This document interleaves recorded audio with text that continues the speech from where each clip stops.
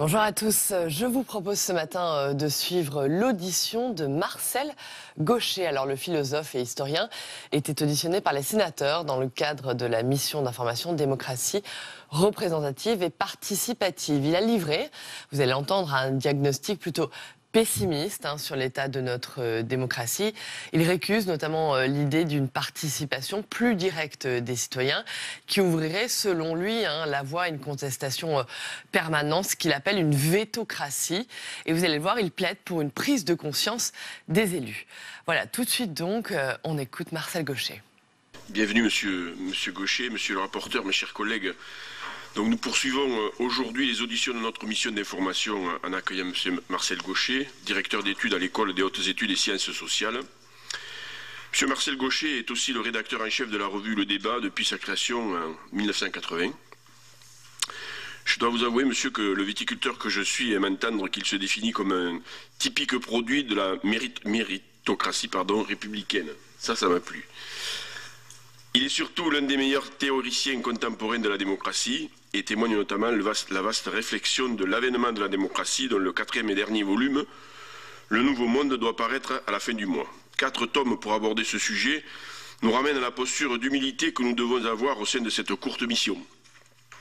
Dans vos ouvrages, vous avez révélé notamment les paradoxes de notre société et ceux de notre démocratie, en tentant de les expliquer par des facteurs anthropologiques et historiques. Vous pensez que la démocratie ne peut se limiter à un régime politique, c'est également un État social, une nouvelle manière d'être de l'humanité au sein d'une société des individus.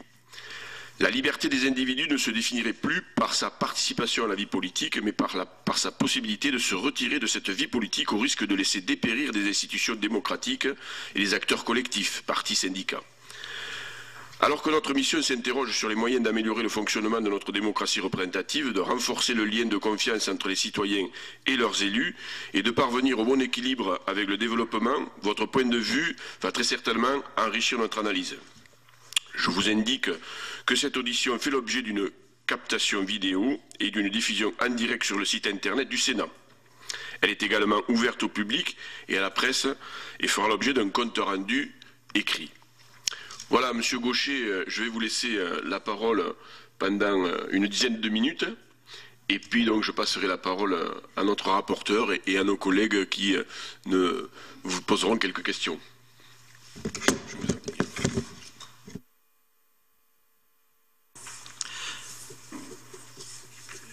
La question qui motive votre réflexion est bien sûr très pratique elle part d'un constat euh, qui euh, est aujourd'hui au cœur de l'action publique, à savoir sa difficulté à recueillir euh, l'assentiment des citoyens, ou en tout cas de l'entièreté des citoyens, au point que notre démocratie peut paraître tournée à certains égards à une vétocratie.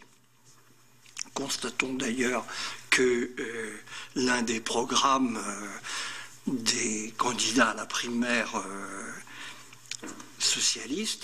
euh, institutionnalise pratiquement dans son, dans son programme cette vétocratie en proposant de rappeler et de soumettre à la décision collective, au référendum, si on comprend bien, tout, texte émanant de l'exécutif et des assemblées qui ferait l'objet d'un rejet de la part de 400 000 euh, citoyens. C'est évidemment une, une situation qui interpelle les praticiens que vous êtes, mais aussi qui devrait qui est au cœur de la réflexion sur l'évolution contemporaine de la démocratie. Qu'est-ce qui se passe? Alors, il y a en effet une réponse euh, qui paraît s'imposer par bon simple bon sens face à cette situation de blocage potentiel, qui est d'ouvrir la, décision publique à une participation plus grande des citoyens cet apparent bon sens est-il la bonne réponse? Voilà la question qui nous est posée. Et je vous dirai tout de suite, à mon sens, que non, en essayant d'argumenter évidemment ce point de vue. Non que par principe j'ai quelque chose contre le principe de la participation démocratique, bien au contraire, mais est-elle dans le cas la réponse au problème posé? L'analyse de la vraie demande sociale qui est là est toute notre question. Quel est le vrai fond du problème? Je vous ferai une proposition brièvement que nous pourrons évidemment approfondir au fil de la discussion à ce sujet. Il me semble que nous avons affaire à un déplacement de la légitimité démocratique, comme euh, comme il s'en est produit d'autres dans l'histoire de la démocratie, et comme les précédents, celui-là se fait à bas bruit, de manière implicite, sans revêtir euh, de théorisation, sans être même très conscient chez les acteurs. Mais le fait est, le résultat est là. L'élection ne confère aujourd'hui qu'une légitimité de position. Une légitimité très forte, qui a puissamment contribué à la pacification démocratique, on peut constater que même des euh, personnages publics euh, qui bénéficient d'une très faible cote de popularité, pour reprendre ce simple repère, ne sont nullement contestés aujourd'hui, comme cela a pu être le cas par le passé, dans l'exercice de leurs fonctions. Personne, euh, aucune voix significative, même dans les partis les plus extrémistes, ne réclame, par exemple, le départ d'un président de la République au motif de son impopularité sanctionnée par toutes les mesures disponibles. Donc, cette légitimité-là est enracinée. En revanche, elle ne donne pas de légitimité de décision. Et c'est là euh, un constat qui est enregistré plus ou moins confusément euh, par tous, les, protagonistes du jeu politique. Cela donne par exemple ces, propositions, comme qu'on a pu entendre cette fois au cours de la primaire de la droite, de euh, considérer que l'élection comme en quelque sorte un pacte entre, sur un programme défini, et dans ce qui serait ensuite immédiatement et le plus vite possible traduit dans une série d'ordonnances après lesquelles, en quelque sorte, le pouvoir euh, se réfugie euh, dans son château fort et attend que ça se passe en essayant de calmer les, les prévisibles oppositions que la méthode ne manquera pas de, de susciter. On a vu que cette démarche suscitait chez les acteurs même du jeu politique un scepticisme certain, qui traduit bien, euh, à mon sens, la perception de cette, de cette chose. Le problème est cette dissociation qui fonctionne dans l'esprit des citoyens.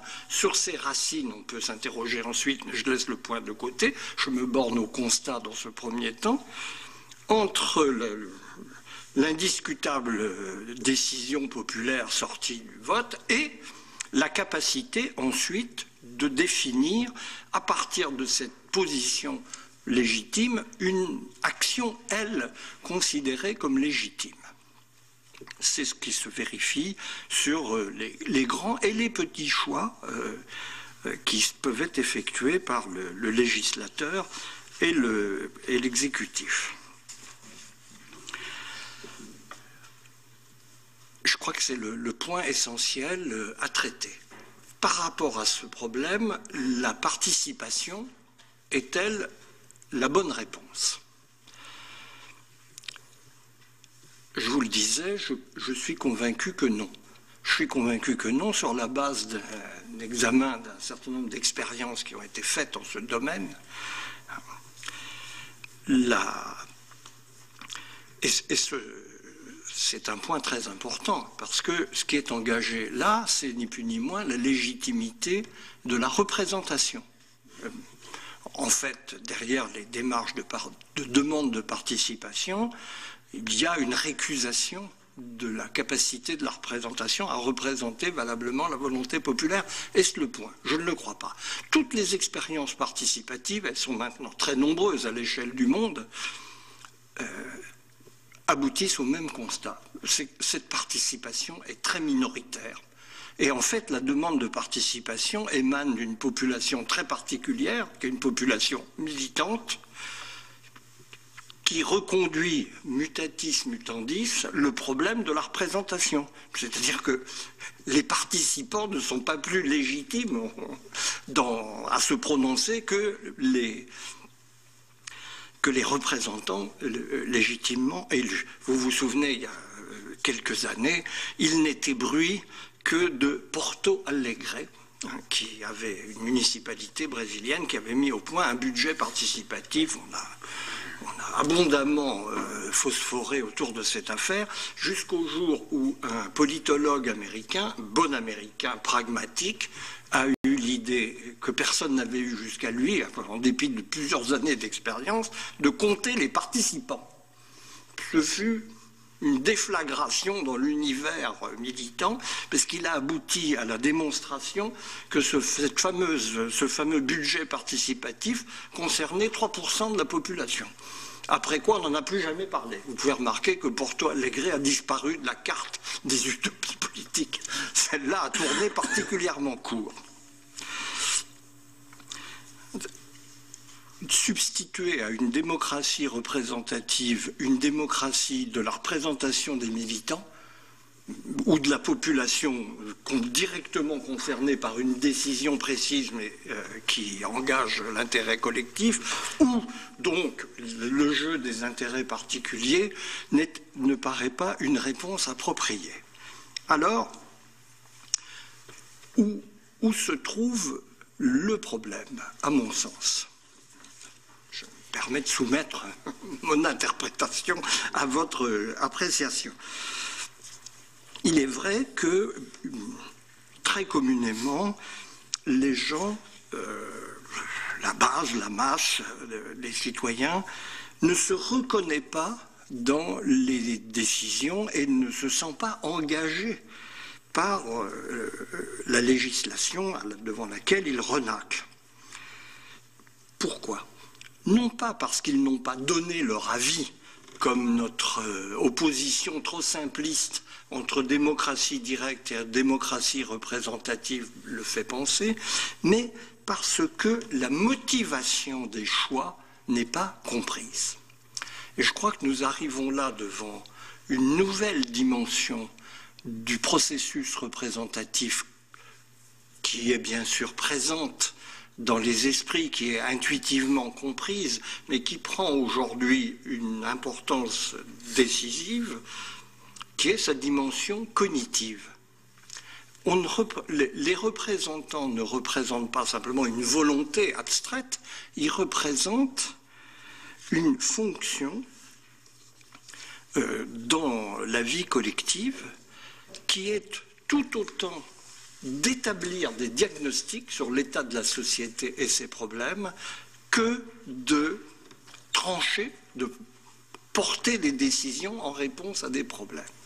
Et je crois que, d'une manière assez générale, l'impasse actuelle euh, de la politique démocratique que nous pouvons euh, tous enregistrer, qui permet, à mon sens, même de parler d'une crise de la démocratie, d'un genre très particulier, tient à ce facteur. la vie politique est peuplée de solutions à des problèmes qui ne sont ni posés ni compris. Donc on a un marché de solutions sans comprendre quel est le problème auquel ils répondent. Et dans ce jeu, en effet, les citoyens ne se retrouvent pas. Je crois que le, le vrai problème se situe à l'intérieur de la démocratie représentative et dans son jeu même, bien plus que dans une introduction d'une part de démocratie directe, qui est d'ailleurs prévue dans nos institutions sous la forme du référendum, et on sait que c'est une procédure lourde, qu'il n'y a pas beaucoup de sens à manier pour des décisions, somme toute, secondaires. Je ne sais pas si faire, un référendum sur une loi travail a beaucoup de sens, étant donné à la fois la complexité technique, l'impossibilité de réduire les choix à des questions simples. mais oui, cette dimension de l'introduction de la démocratie directe existe à l'intérieur du jeu représentatif, mais le vrai problème me paraît se situer dans le fonctionnement même de la démocratie représentative et de ce qui est attendu d'elle. Les citoyens, c'est l'explication, à mon sens, du déplacement de légitimité que je mentionnais au départ, élisent des représentants non pas pour qu'ils portent une volonté qui serait en quelque sorte préalablement établie, mais pour qu'ils effectuent un certain travail qui est en partie explicité en amont au moment de la désignation et des campagnes électorales, mais qui porte bien plus vers l'aval au moment où, une fois en fonction, ils vont avoir à établir les termes à partir desquels les décisions vont être prises. Et dans l'esprit des citoyens d'aujourd'hui, les attendus de la décision comptent encore plus que finalement les choix qui sont effectués, dont ils ont en général très bien intégré le caractère de compromis qu'ils revêtent presque toujours dans le, processus démocratique, puisqu'il s'agit de trouver des équilibres entre des intérêts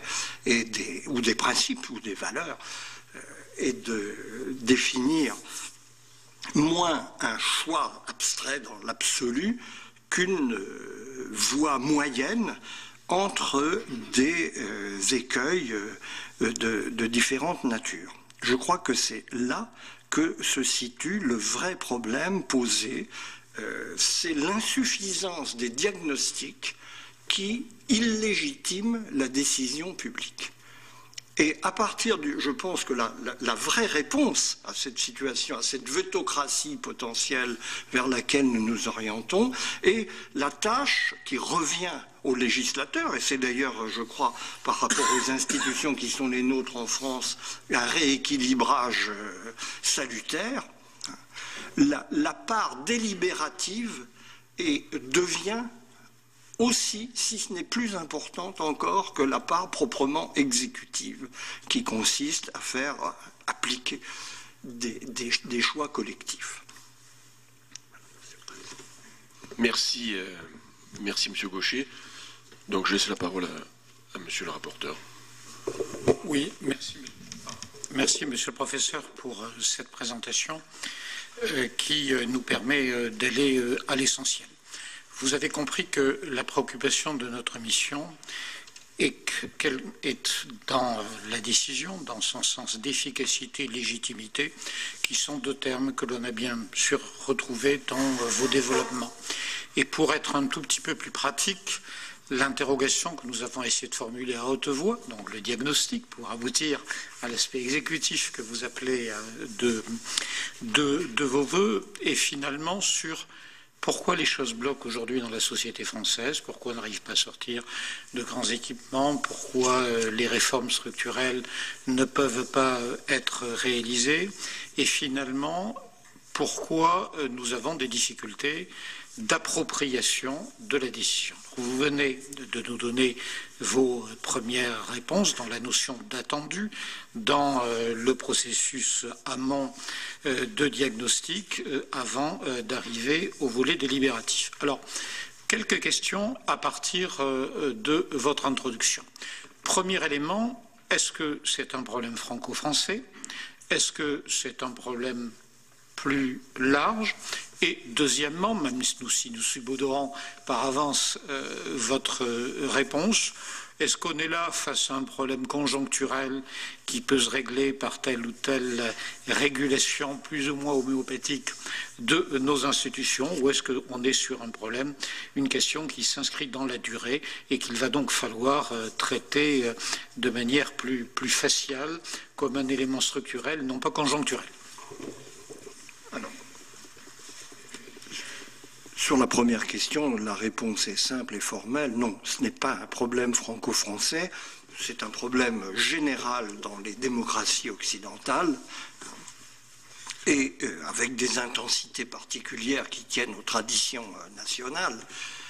Et euh, c'est un problème dont on peut comprendre qu'il revêt en France euh, une importance particulière à cause tout simplement de l'idée républicaine qui reste extrêmement présente dans notre culture politique et qui fait que sur ce genre de, dans les crises de la démocratie, la France est toujours en avance. Elle n'est pas toujours en avance dans la solution.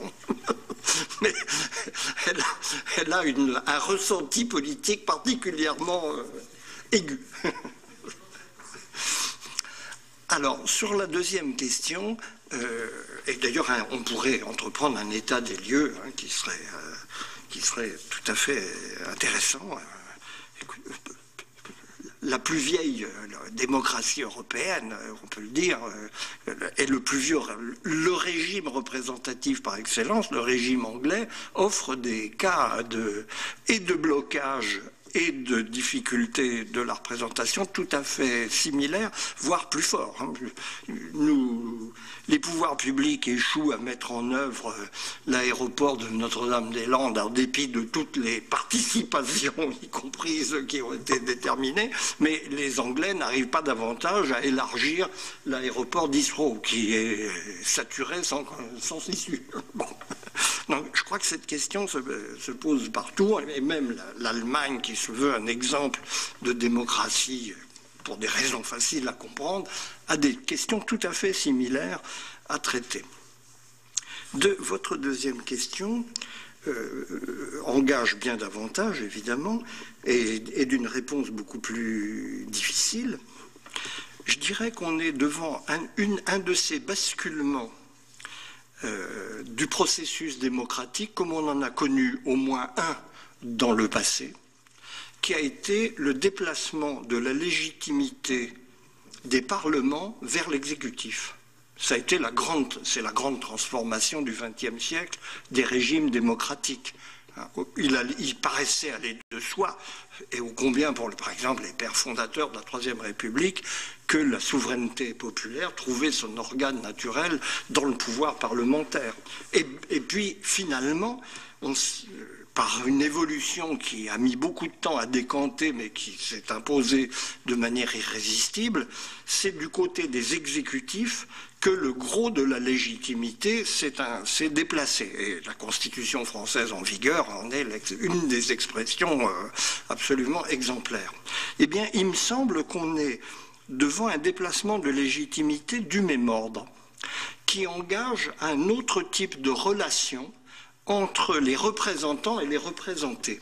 C'est dans une le, euh, depuis le départ, ce problème hante le, régime représentatif, mais il prend aujourd'hui une nouvelle actualité sous un jour qu'on n'attendait pas. Euh, un de mes collègues éminents, euh, qui s'appelle Dominique Rousseau, a proposé un concept intéressant qui perçoit une partie de ce problème qui s'appelle la démocratie continue, qui est précisément une réponse à la question euh, d'origine. Nous élisons, mais que se passe-t-il dans l'intervalle des élections? Eh bien, je crois qu'on est sur ce même terrain. Ce qui est posé, c'est une question de la relation permanente, en effet, d'une certaine manière, entre ce qui se passe chez les représentants et ce qui se passe du côté des représentés, dans, une demande d'intelligibilité de la décision publique qui connaît un nouvel approfondissement. C'est c'est le genre de choses qui sont des exigences très confuses qui, qui, ne sont pas anticipées par la théorie, en rien, euh, qui au contraire en général peinent à rattraper le train qui est devant elle, et qui mettent du temps à trouver une traduction institutionnelle dans des procédures, dans des méthodes, dans, et dans, un, dans ce qu'on sait être la part essentielle de la vie d'une démocratie, c'est-à-dire à côté de la lettre constitutionnelle, l'esprit du fonctionnement des régimes. Je crois que c'est un phénomène de cet ordre devant lequel nous sommes qu'il va falloir trouver le moyen de traduire dans la mécanique de, nos institutions et par des voies qui sont en partie imprévisibles, parce qu'ils relèvent d'une invention collective, qu'ils relèvent aussi d'une offre politique. Hein, nous sommes dans une de ces époques où nous voyons bien qu'une carrière s'ouvre aux entrepreneurs politiques qui ont des caractères parfois très déplaisants, mais qui sont aussi parfois une contribution à l'imagination euh, collective, puisqu'ils savent comme n'importe quel entrepreneur peut le faire, répondre à une demande collective dont ils ont l'intuition qui manque à leurs concurrents. Donc nous sommes probablement devant une évolution en profondeur de la démocratie que nous devons chercher à anticiper dans toute la mesure du possible, parce que la discordance euh, entre le, peuple et ses élus n'est jamais une chose euh, souhaitable, mais dont il faut se dire qu'on va mettre du temps probablement à trouver la bonne réponse. Dans euh, le cadre de, cette crise de la démocratie, et je vais vous demander d'aller un petit peu plus loin euh, sur, d'une part, euh, la notion de démocratie participative et sur ce que vous voulez, venez de nous appeler une forme de démocratie continue dans la terminologie du professeur Rousseau ou de relation permanente dans la présentation que vous venez de nous faire. Sur la question de la démocratie participative, vous nous avez fait part de vos réserves, elles sont très claires et argumentées notamment par la faible participation. Nous, connaissons d'autres arguments, d'autres de vos collègues mettent en avant ce qu'ils appellent l'asymétrie de motivation, en expliquant que les processus participatifs, quelque part, radicalisent, cristallisent structurellement, puisque euh, certains ne participent jamais et participent toujours euh, ceux qui sont les plus motivés, d'où la difficulté euh, de voir apparaître des solutions dites d'intérêt général, pour utiliser une terminologie traditionnelle. Alors, ceci est vrai. Alors, nous, le constatons sur le, terrain, et euh, mes collègues sont euh, très habitués euh, aux difficultés que l'on peut connaître dans ce que nous appelons des conseils de quartier, avec toujours les mêmes questions, toujours les mêmes personnes qui participent, toujours les mêmes logiques de voisinage. Donc, ça, j'allais dire expérimentalement. Nous comprenons bien ce que vous voulez nous dire. En même temps, si je puis vous pousser un tout petit peu plus loin dans votre raisonnement, est-ce que toute la démocratie, tous les mécanismes dits démocratie participative sont frappés des mêmes mots. Euh, Il peut y avoir des euh, formes qui prennent, euh, qui sont celles par exemple des panels, des conférences de consensus ou de conférences citoyennes, à partir des mécanismes soit tirage au sort, soit de choix un petit peu par catégorie sociale, par zone géographique, qui quelque part objectivent la démarche, évitent d'être dans des débats de militants euh, entre les personnes les plus euh, motivées, les plus mobilisées Et est-ce que ce type de, de, procédure euh, vous pourrait vous réconcilier avec la démocratie participative et quelque part avec la possibilité qui nous serait offerte d'objectiver les choses et de mieux définir ce que vous avez appelé les attendus de la décision publique?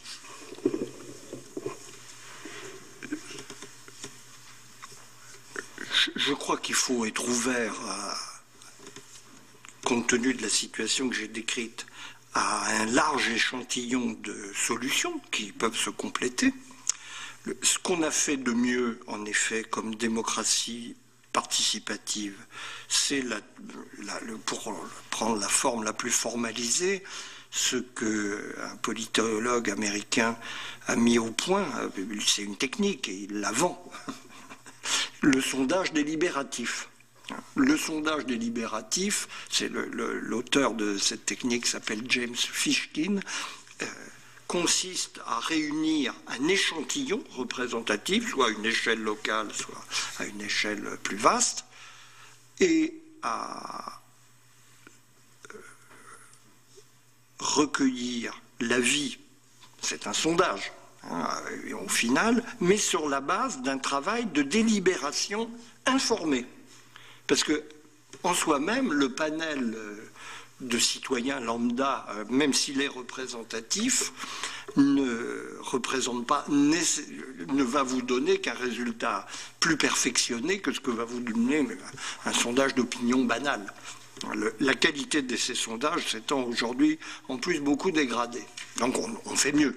Mais sondage délibératif veut dire que non seulement on amène au panel qu'on a réuni un échantillon d'experts de, la question, d'avis eux-mêmes pluralistes, qui peuvent permettre de se faire une idée des différents points de vue euh, en, présence, mais on permet en plus, ça on rejoint la conférence de consensus, aux gens du panel de discuter entre eux d'échanger ces arguments, donc de se les approprier d'une façon beaucoup plus approfondie.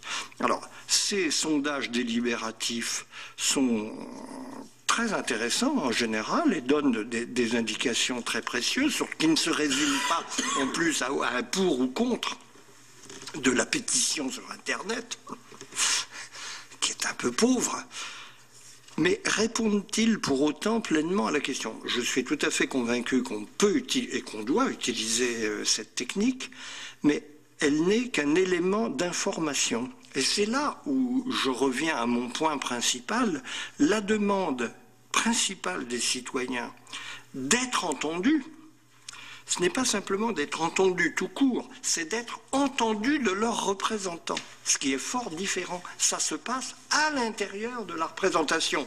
Et quand on diffuse les résultats de ces sondages délibératifs, on se retrouve de toute façon, dans le cas euh, général de l'information, ça n'est qu'un avis parmi d'autres. Quand c'est un responsable, bon, il est recueilli, il peut avoir un effet. Quand c'est un responsable, pourvu de la légitimité que procure l'élection, qui prend sur lui ce diagnostic, il a tout de suite un relief extrêmement différent dans l'esprit des citoyens. Et ce qu'on peut redouter de ces formules, euh, qui encore une fois, dont il ne s'agit absolument pas de contester la validité, c'est le fait qu'elles ne sont pas à la hauteur de la, demande sur des points névralgiques, si intéressants que soient leurs résultats. C'est. Euh, ce qui est en cause, c'est la conception même de la représentation et de la tâche attendue dans l'esprit des citoyens des représentants, qui est en fait une tâche d'élucidation, de connaissance, de diagnostic. Euh, et de définition des termes des problèmes en fonction desquels la décision des publics, du public, la décision publique peut être accueillie par ceux dont ils seront, qui seront ensuite amenés à l'appliquer. Si nous résumions euh, votre propos, euh, monsieur le professeur, par euh, un peu à la hache, je vous prie de m'en excuser, par une forme de double appropriation, c'est-à-dire que vous nous dites que dans l'idéal, il faut qu'il y ait un premier stade d'appropriation par nos concitoyens, ce que vous avez appelé une forme de délibération informée, qui pour vous euh, rendrait possible une démocratie participative adaptée, et ensuite un deuxième niveau d'appropriation, l'appropriation par le représentant, qui vient s'armer de cette information des attendus pour ensuite argumenter et décider, cette idée de, ce double niveau d'appropriation pourrait correspondre à votre raisonnement? Mais vous en apportez une traduction parfaite. Je pense que ce sont deux étapes différentes. Deux étapes. Deux étapes. Pardon.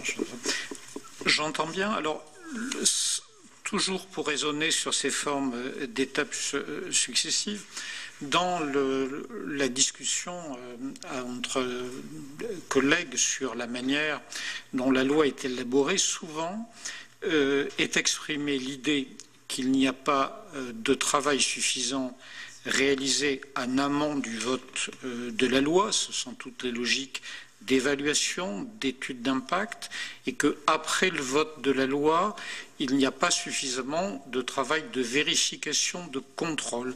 Est-ce que ces deux éléments pourraient être pour vous là aussi une réponse possible à euh, l'interrogation qui a été la vôtre tout à l'heure sur la légitimité et la pertinence de l'action politique? Ce sont des éléments importants, mais qui me semblent secondaires au regard de la construction d'un diagnostic partagé. Je vais en prendre, je vais prendre deux exemples de notre actualité qui me semblent illustrer le point. J'ai été très frappé au moment des polémiques déclenchées par la loi travail sur le fait, sur un, problème de,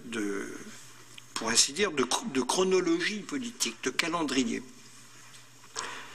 quand François Hollande euh, arrive euh, en fonction, son gouvernement demande un rapport sur la compétitivité à Louis Gallois.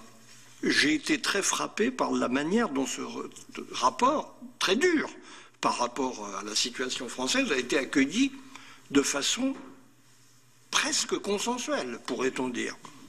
Il n'y a pas eu d'opposition, de dénonciation, de et ce rapport était en fait évidemment euh, euh, un élément de diagnostic qui est resté en l'air et qu'on avait complètement oublié au moment où la loi travail, qui d'une certaine façon était quelques années plus tard euh, son application dans un domaine particulier, personne n'a fait le rapport alors qu'il qu'il aurait dû être clair. Alors ça pose la question de la manière dont est conçue l'action publique, mais ça pose aussi c'est-à-dire euh, quand on fait un rapport, euh, il est fait pour être suivi des faits ou non. Ça, c'est une grande question qui, est posée en général. Mais au-delà de ça, on voit bien que il peut y avoir un décalage saisissant quand euh, justement le calendrier ne le permet pas, entre la réception d'une information et les conclusions qu'on en tire. Je crois que c'est une leçon de choses très utile à méditer. Le, deuxième exemple que je prendrai est une question récurrente, celle-là, qui tourne autour d'une des questions publiques que je connais un peu moins mal que les autres, qui est la question de l'école, à laquelle je me suis beaucoup intéressé depuis longtemps si prenons l'état du débat public, vous avez un affrontement sur ce terrain entre deux types de solutions. Hein. La réponse traditionnelle à gauche est il faut augmenter les moyens, notamment en personnel, et la réponse traditionnelle à droite, c'est il faut donner de l'autonomie aux établissements et aux chefs d'établissement. on est enfermé dans un débat complètement rituel est-ce que quelque part existe un état des lieux des problèmes qui se posent à notre système scolaire, sur les raisons de sa dégradation sur laquelle tout le monde s'accorde à peu près, et sur la manière d'y répondre. Alors, de temps en temps, il y a une solution onirique qui, se fait jour et qui dure en général peu de temps hein, parce que sa crédibilité est vite éprouvée comme euh, limitée. Par exemple, le numérique va tout résoudre. Peut-être, mais en, fonction de quoi Et va résoudre quoi? Précisément par rapport aux difficultés qui sont posées nous avons périodiquement le psychodrame de l'annonce des résultats de l'enquête PISA. J'ai fait un petit sondage auprès de responsables, y compris de l'éducation nationale. Personne ne sait ce qu'est l'enquête PISA. Et j'ai appris d'ailleurs à cette occasion que l'administration en France s'oppose à la divulgation publique du test au motif que ça pourrait fausser les résultats. Partout ailleurs où j'ai eu l'occasion de parler à des enseignants de ce problème, ils ont l'enquête sous le nez et préparent leurs élèves à y répondre. Ils ont l'idée. Nous, nous, passons des tests dont nous nous interdisons de connaître la teneur. pourquoi ces questions ne sont-elles pas débattues dans les enceintes parlementaires, dans les commissions spécialisées. et de, pourquoi aucun parti, aucune formation politique n'a-t-elle de porteur de, connaissances spécialisées sur ce domaine qui nous permettrait d'échapper à cette euh, question à, cette impasse d'affrontement de, solutions auxquelles personne ne croit, en fait, puisqu'ils sont au fond des espèces de dérivations d'une philosophie générale qui n'a aucun rapport spécifique avec la question posée. Je crois qu'on est devant l'exemple même de l'impasse que représente un certain type de traitement public des questions sans le diagnostic préalable qui est la vraie demande adressée à la représentation. Toujours les attendus. Peut-être deux ultimes questions. Euh, vous prendrez mon relais si vous l'acceptez. Euh, bien sûr, mes collègues qui doivent avoir déjà beaucoup de questions en tête. Quelle place euh, à l'expérimentation? On voit bien qu'on est à la recherche d'autre chose. Est-ce que l'idée d'avoir une expérimentation, soit dans un domaine, soit dans une région, vous agréerez, euh, vous paraîtrez pertinente, euh, ou au contraire euh, vous agacerez parce que ça pourrait être considéré comme une forme d'indécision, votre, votre sentiment sur la pertinence ou non d'ouvrir un champ d'expérimentation dans la vie publique je, suis fervent partisan de l'expérimentation, mais tout est dans la manière dont elle est effectuée parce qu'on en a fait beaucoup, en fait. Mais le résultat perce rarement euh, le cercle des initiés, et la manière même de les apprécier est sujette à caution. Donc, je crois qu'au contraire, euh, le, principe de l'expérimentation rentre dans une euh, philosophie qui me paraît la bonne par rapport à l'action publique en général, c'est-à-dire ce que nous savons être l'écart entre des intentions, si excellentes soient-elles, des anticipations si bien mesurées qu'elles soient, et ce qui va se passer en pratique, tout simplement parce que nous sommes dans des sociétés d'acteurs dont le comportement est en grande partie imprévisible, et que la réalité, en plus, comporte souvent des faces cachées qui se révèlent au moment où on essaye de la changer. C'est tous ces. Donc, dans le sens de ce que je vous disais précédemment, tout est, tout est, euh, si on veut légitimer cette démarche d'expérimentation, dans la manière d'en exploiter les résultats. Et je crois qu'une une expérimentation n'est pas simplement quelque chose qui doit se faire dans un coin à l'usage des initiés qui regardent un peu comment ça se passe et si ça, surtout si ça se passe mal, on n'en parle plus et on arrête les frais. C'est peut-être pas la bonne manière de procéder, c'est un vrai test public hein, qui doit donc bénéficier de publicité et qui doit, dont l'examen doit être confié non pas à quelques experts qui en tirent des conclusions euh, qui emporte ou non la conviction, mais devenir un vrai objet de discussion. Pas de catimini. la notion simplicité, complexité. Le, dans, les, dans les présentations qui ont pu nous être faites, euh, est apparue l'idée que traditionnellement on demandait au monde politique d'essayer de simplifier et que la société, elle, était face à des problèmes complexes et que euh, l'humilité serait plutôt euh, de se dire comment euh, on peut expliquer qu'à problème complexe, solutions euh, multiples, diversifiées.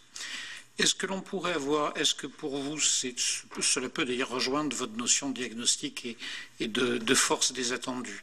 Est-ce que vous pourriez un petit peu nous donner votre sentiment et est-ce que vous partageriez l'idée que les choses ont quand même changé dans notre société, que effectivement les problèmes sont plus complexes et que par rapport à ça, euh, la représentation euh, publique ou politique se doit d'accepter de prendre en compte euh, cette complexité et de l'expliciter ou est-ce que la nature de l'homme, c'est de rechercher perpétuellement une simplicité qui lui échappera En tout cas, la nature de la pensée humaine est à coup sûr, la démarche scientifique est là pour l'attester, une recherche d'économie de moyens dans l'intelligibilité des choses. Alors, je vous avoue que je suis perplexe, si j'ose dire, face à cette notion de complexité, qui me paraît souvent un alibi. Et un alibi euh, pour confondre deux niveaux de raisonnement très différents, qui sont le niveau technique de définition des normes et le niveau des principes généraux qui conduisent à l'édiction de ces normes. Et il faut bien dire que quand on lit les textes de loi qui émanent de vos vénérables assemblées, on est quelquefois perplexe devant euh, euh, l'intrication de ces deux niveaux. Euh, je, crois qu'en plus, il ne faut pas. complexité peut fonctionner très efficacement comme un rideau de fumée pour dissimuler des compromis non avoués la réalité du fonctionnement de nos sociétés, c'est qu'en effet, euh, leur niveau de liberté, leur niveau d'information a considérablement augmenté et on ne peut que s'en féliciter d'un point de vue démocratique, en dépit de tout ce qu'on peut dire euh, par ailleurs sur le niveau de formation, etc. Et que du coup, de plus en plus d'acteurs sont en mesure de faire entendre leur voix dans toutes les décisions qui les concernent. Ça, c'est une réalité. Est-ce qu'il faut forcément appeler ça complexité? J'en suis pas sûr. Mais le résultat est certain, c'est qu'il s'agit bien d'aboutir à des compromis. Et je crois que la pire des manières de faire ces compromis, c'est de les dissimuler derrière euh, une complexité de langage ou de disposition qui ne permet pas de saisir le sens de la décision même. Mais oui. Et le, si j'ose dire, le sens est toujours simple et l'application toujours compliquée. La nature du droit, c'est la complexité. nous le savons. Et ça, c'est pas, il n'y aura jamais de droit simple dans, des sociétés techniciennes, dans des sociétés à impératifs contradictoires, parce qu'il y a des groupes d'intérêts contradictoires et qu'il est normal que ces contradictions s'expriment. Mais ce sont des choses différentes dont je pense précisément que la pédagogie politique devrait consister à les dissocier soigneusement.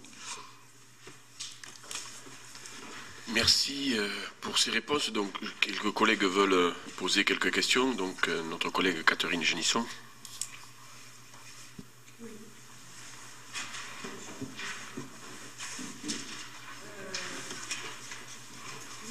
Vous nous avez euh, dit euh, dans votre propos introductif deux choses qui me semblent très importantes. C'est que le vrai problème, c'est à l'intérieur de la démocratie participative. Ça nous concerne donc euh, tout à fait directement. Et vous avez dit en même temps que vous, pensiez, enfin, vous, vous, pensez qu'il y a, et je pense qu'on le ressent d'ailleurs, un basculement du processus démocratique du Parlement vers l'exécutif. Les, les, parlementaires que nous sommes, je pense que nous le vivons quotidiennement. Alors j'ai envie de vous demander, euh, est-ce que pour vous, et je pense que la réponse que vous allez me faire est non, est-ce uniquement un problème institutionnel et en particulier est-ce que l'instauration du quinquennat et de l'inversion du calendrier favorise cette bascule vers l'exécutif? C'est peut-être un épiphénomène, mais sans doute pas la raison essentielle. Mais est-ce que la raison essentielle n'est pas, euh, face à toutes les questions que nous avons évoquées, finalement, la pauvreté de, comment dire, euh, de, de l'idéologie politique que ce soit dans tous les partis politiques, euh, dans tous les partis politiques aujourd'hui, finalement, le manque de, propositions euh, que l'on fait euh, à nos concitoyens. Et puis, par ailleurs, vous nous dites aussi que nos concitoyens, et à juste titre, souhaitent la construction d'un diagnostic partagé et souhaitent être entendus de leurs représentants avec le fait qu'on peut avoir cette relation effectivement directe entre le citoyen et le représentant euh, élu, mais en même temps, ce représentant élu est élu à l'intérieur d'un groupe. Donc il est aussi un peu, euh, il n'est pas toujours forcément euh, totalement libre dans la relation qu'il a avec ses concitoyens, puisqu'il est quand même dépendant d'une certaine commande politique instituée par le groupe auquel il appartient les questions que vous soulevez là engagent euh, une espèce de, au-delà du problème précis dont nous parlions, une espèce de vision de l'évolution de nos régimes, et singulièrement en France. Je dirais que nous sommes devant un cas important euh, de contradiction entre le rôle dont se trouve investi l'exécutif et singulièrement le président de la République dans nos institutions et sa capacité d'y répondre. La demande croît, la réponse décroît.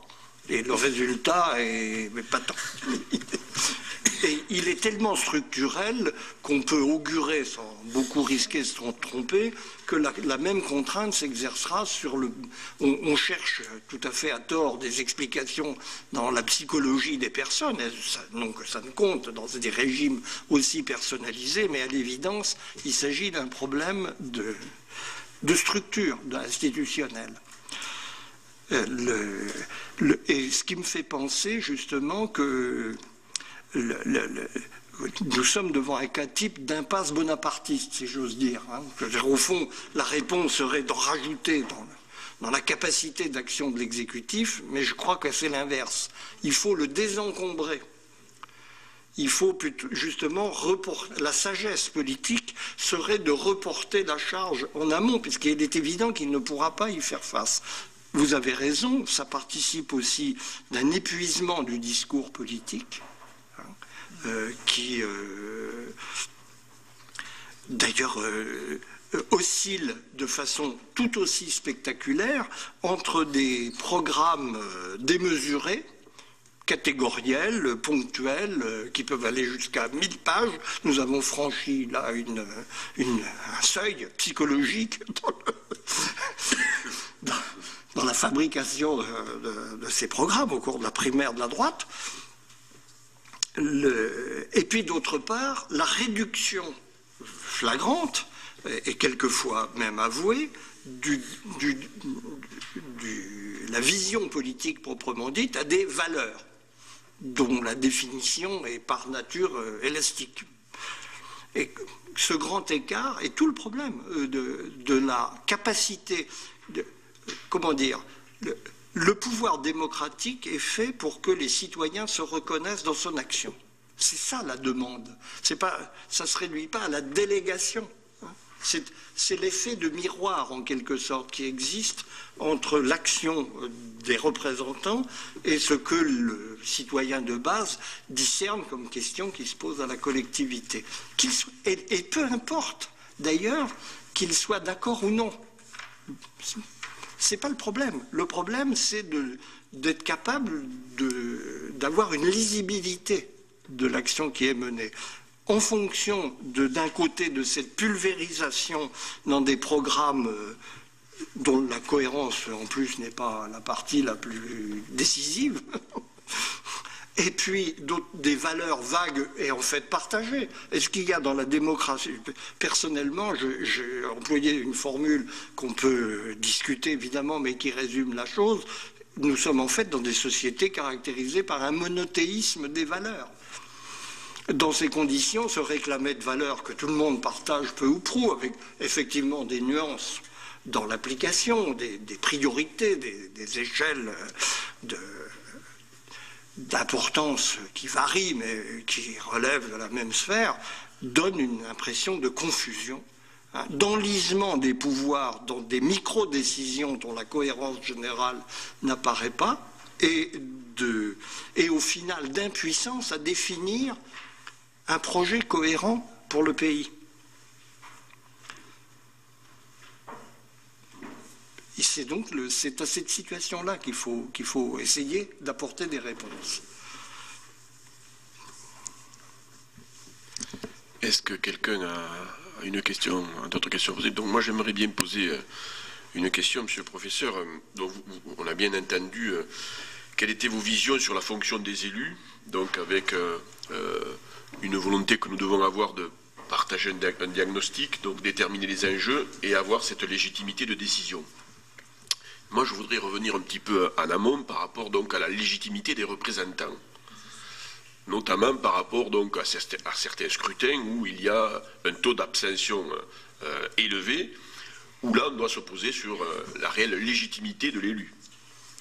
Et euh, j'aimerais vous entendre aussi sur le mode de scrutin qui est le nôtre, savoir si effectivement, dans l'idée de changer de mode de scrutin, serait plus euh, euh, cohérent par rapport donc euh, aux, représentants. Et, après, une, dernière question sur est-ce que vous pensez qu'aujourd'hui, dans les représentants, quelles que soient donc les assemblées dans lesquelles ils siègent, c'est réellement la représentativité de la société telle qu'elle est? Bon, au niveau du Parlement, Assemblée nationale et Sénat, très peu d'ouvriers, très peu de salariés, très peu euh, d'entrepreneurs. Comment? Oui, oui, non, mais je dis à l'Assemblée comme, je dis au Parlement. Est-ce que vous pensez là qu'il n'y a pas euh, quelque chose à améliorer?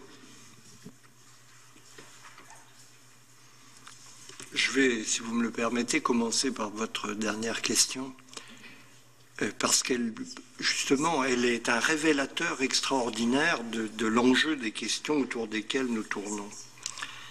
Euh, qu'est-ce qui fait la représentativité d'une assemblée? Est-ce sa composition sociologique? Oui, dans une certaine mesure. Incontestablement, euh, la chose qui le vérifie le mieux est effectivement la parité. Une société composée de, citoyens euh, masculins et féminins peut difficilement se retrouver dans une assemblée où il n'y a que des hommes. Bon, ça, je pense que la cause est jugée, on n'en parle plus. donc, oui, dans une certaine mesure. Mais ça n'épuise pas la question. Imaginons une assemblée construite comme un panel euh, d'opinion qui serait un parfait reflet de la société, dans, dans toute sa diversité de composantes. Est-ce que pour autant, cette assemblée serait nécessairement jugée plus représentative que celle que nous pouvons observer aujourd'hui, avec tous les biais que vous avez décrits, auxquels il faut se préoccuper de répondre? En effet. Eh bien, je ne le crois pas. Et cela nous met devant ce qui fait l'âme de la représentation. Je crois que l'expérience de pensée suffit à permettre de, d'en juger, bien que ce soit des choses qui se balancent. Ce qui compte dans cette assemblée, mettons, c'est pas le fait qu'il n'y ait pas d'ouvriers, mais c'est le fait qu'on ne s'occupe pas des problèmes des ouvriers. C'est le fait que ne soient pas représentées les questions que pose la condition ouvrière aujourd'hui, ou la condition féminine, ou la condition des immigrés. je crois que on voit bien là, sur cet exemple, que la dimension essentielle de la représentation, c'est sa dimension que j'appelle cognitive, parce qu'il n'y a pas d'autre mot, c'est-à-dire sa capacité à donner un écho aux préoccupations qui sont celles de la collectivité. C'est là que se joue vraiment la représentativité. Et imaginons qu'il n'y ait pas un seul ouvrier, mais qu'on parle de la condition ouvrière. Je pense, c'est ce qui s'est passé. Euh, euh, l'exemple le plus illustre en la matière, c'est précisément le régime représentatif britannique la Chambre des communes euh, anglaise au XIXe siècle s'est distinguée par des rapports admirables, lisibles encore aujourd'hui, sur ce qu'était la révolution industrielle et ses conséquences sociales du point de vue de la condition prolétarienne, qui sont abondamment mis à contribution d'ailleurs par Marx dans, ses écrits. Eh bien, une telle assemblée, fort peu, fort peu euh, représentative de la société de l'époque, avait une, bénéficié effectivement d'une légitimité représentative indiscutée à l'époque. Donc je crois qu'il faut panacher. Et je crois que là aussi, nous avons affaire à un panachage d'exigences euh, contradictoires et dont l'équilibre est toute la tâche de la définition de nos institutions. Je dirais la même chose à propos des modes de scrutin. Je crois que la façon française d'opposer en bloc des solutions euh, antagonistes est une mauvaise manière de se prononcer. Il est certain que nous avons en France aujourd'hui, dans la situation de tripartisme latent que nous connaissons, un problème de représentativité des assemblées qui impose un changement de mode de scrutin dans une certaine mesure. Toute la Mais oui, il faut évidemment, quand une famille, quand il y a trois grands partis de fait présents dans la société et que deux seulement, pour simplifier évidemment, sont représentés dans les assemblées, quelque chose ne va pas. Il faut effectivement imaginer une réponse à cette question. La réponse est-elle de passer au tout proportionnel et de faire une démocratie à l'israélienne en France Je ne le crois pas du tout.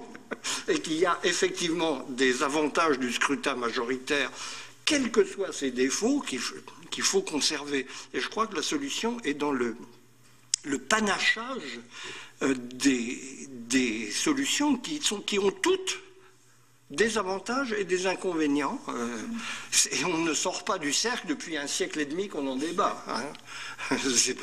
On a, je crois, fait le tour de, tout ce qu'on pouvait en attendre. Donc, c'est plutôt l'équilibre à trouver dans chacun de ces cas qui est la bonne manière de, fonctionner, sans enfermer. Parce que moi, ce que je redoute dans le sociologisme dans la sociologisation de la représentation, c'est une espèce de réduction extraordinairement dangereuse des représentants au porte-parole d'un groupe particulier. Que je sache, la vision française de la représentation, c'est que vous n'êtes pas élus les représentants d'un groupe particulier dont vous portez les intérêts, mais vous vous prononcez justement sur un intérêt général dont euh, vous êtes euh, porteur, comme euh, nous, je pense que les citoyens tiennent à accorder à leurs représentants la capacité de s'élever au-dessus du milieu ou de la profession ou du groupe social dont ils sont issus pour parler au nom de la collectivité. Si on en est ou sinon, alors il faut plutôt remplacer les représentants par des lobbies professionnels. Qui, c'est d'ailleurs une idée récurrente dans nos démocraties, qui, est une impasse euh, complète. Et au niveau de l'abstention Alors, au niveau, au niveau de l'abstention, euh, nous, avons un, nous avons un exemple euh, qui donne beaucoup à penser, qui est celui des États-Unis, où l'abstention électorale a des proportions qu'elle n'a nulle part en Europe par exemple, et où en Europe, en Europe existe dans un certain nombre de pays cette chose euh, qui est traduction du principe, l'obligation de voter, sanctionnée par des, amendes. Hein, euh, en Belgique, le droit de voter, euh, ce n'est pas un droit, c'est une obligation. Après tout, ça se défend euh, tout à fait. Aux États-Unis, en gros, la participation dépasse très rarement 50%, ce qui, pour les, évidemment des Européens, est un taux catastrophique. Et cependant, euh, on ne peut pas dire que les représentants sont, ils sont aussi mal vus là-bas qu'ici, mais pas plus et pas moins. Donc, euh, c'est une question qui agite depuis longtemps la science politique et qui est presque impossible à trancher parce qu'on peut. Alors, ce qui dans notre passé nous fait condamner absolument ce système, c'est l'idée qu'il y aurait des citoyens actifs et des citoyens passifs.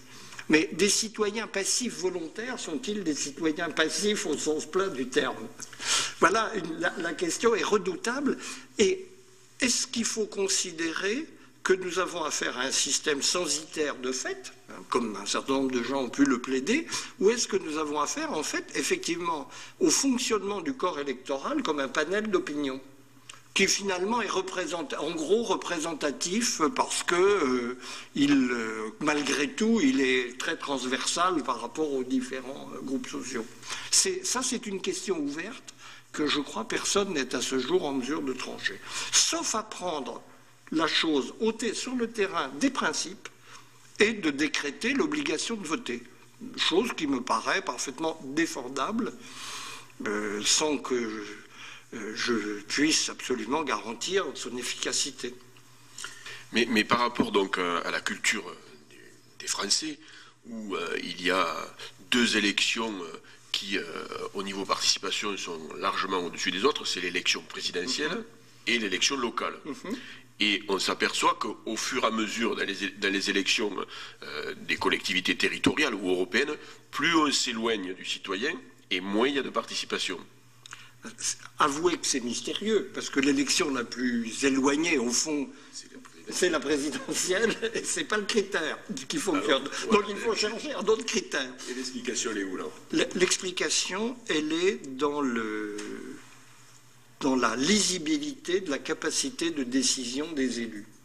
Qui sait, parmi les citoyens, il y a eu un sondage récent là, qui m'a beaucoup interloqué, où une partie importante des Français ne savaient pas à quelle région ils appartenaient. C'est en fait le prolongement d'études qui ont été faites depuis longtemps, en particulier en banlieue parisienne, où la, majorité des électeurs ne savent pas à quel canton ils appartiennent.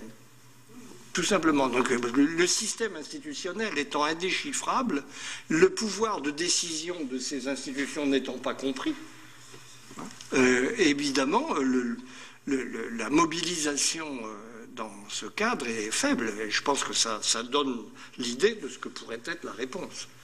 Donc la problématique vient du fait qu'il euh, y a une mauvaise communication. Et est-ce que vous pensez que, euh, euh, au niveau du numérique et des réseaux sociaux, les pouvoirs publics devraient se servir davantage de ces systèmes de communication pour sensibiliser les populations? Oui, là, là-dessus, ça c'est une vraie réflexion qui a beaucoup de, niveaux d'ailleurs. le qui, au plus général, engage l'accès aux données détenues par la puissance publique, y compris l'administration, pas simplement le, pouvoir politique. Je pense que de ce point de vue-là, pour les Français, c'est une petite révolution. Ils ont un État remarquablement organisé, en dépit de sa désorganisation récente, mais qui sait énormément de choses sur la société, mais qui le garde pour lui.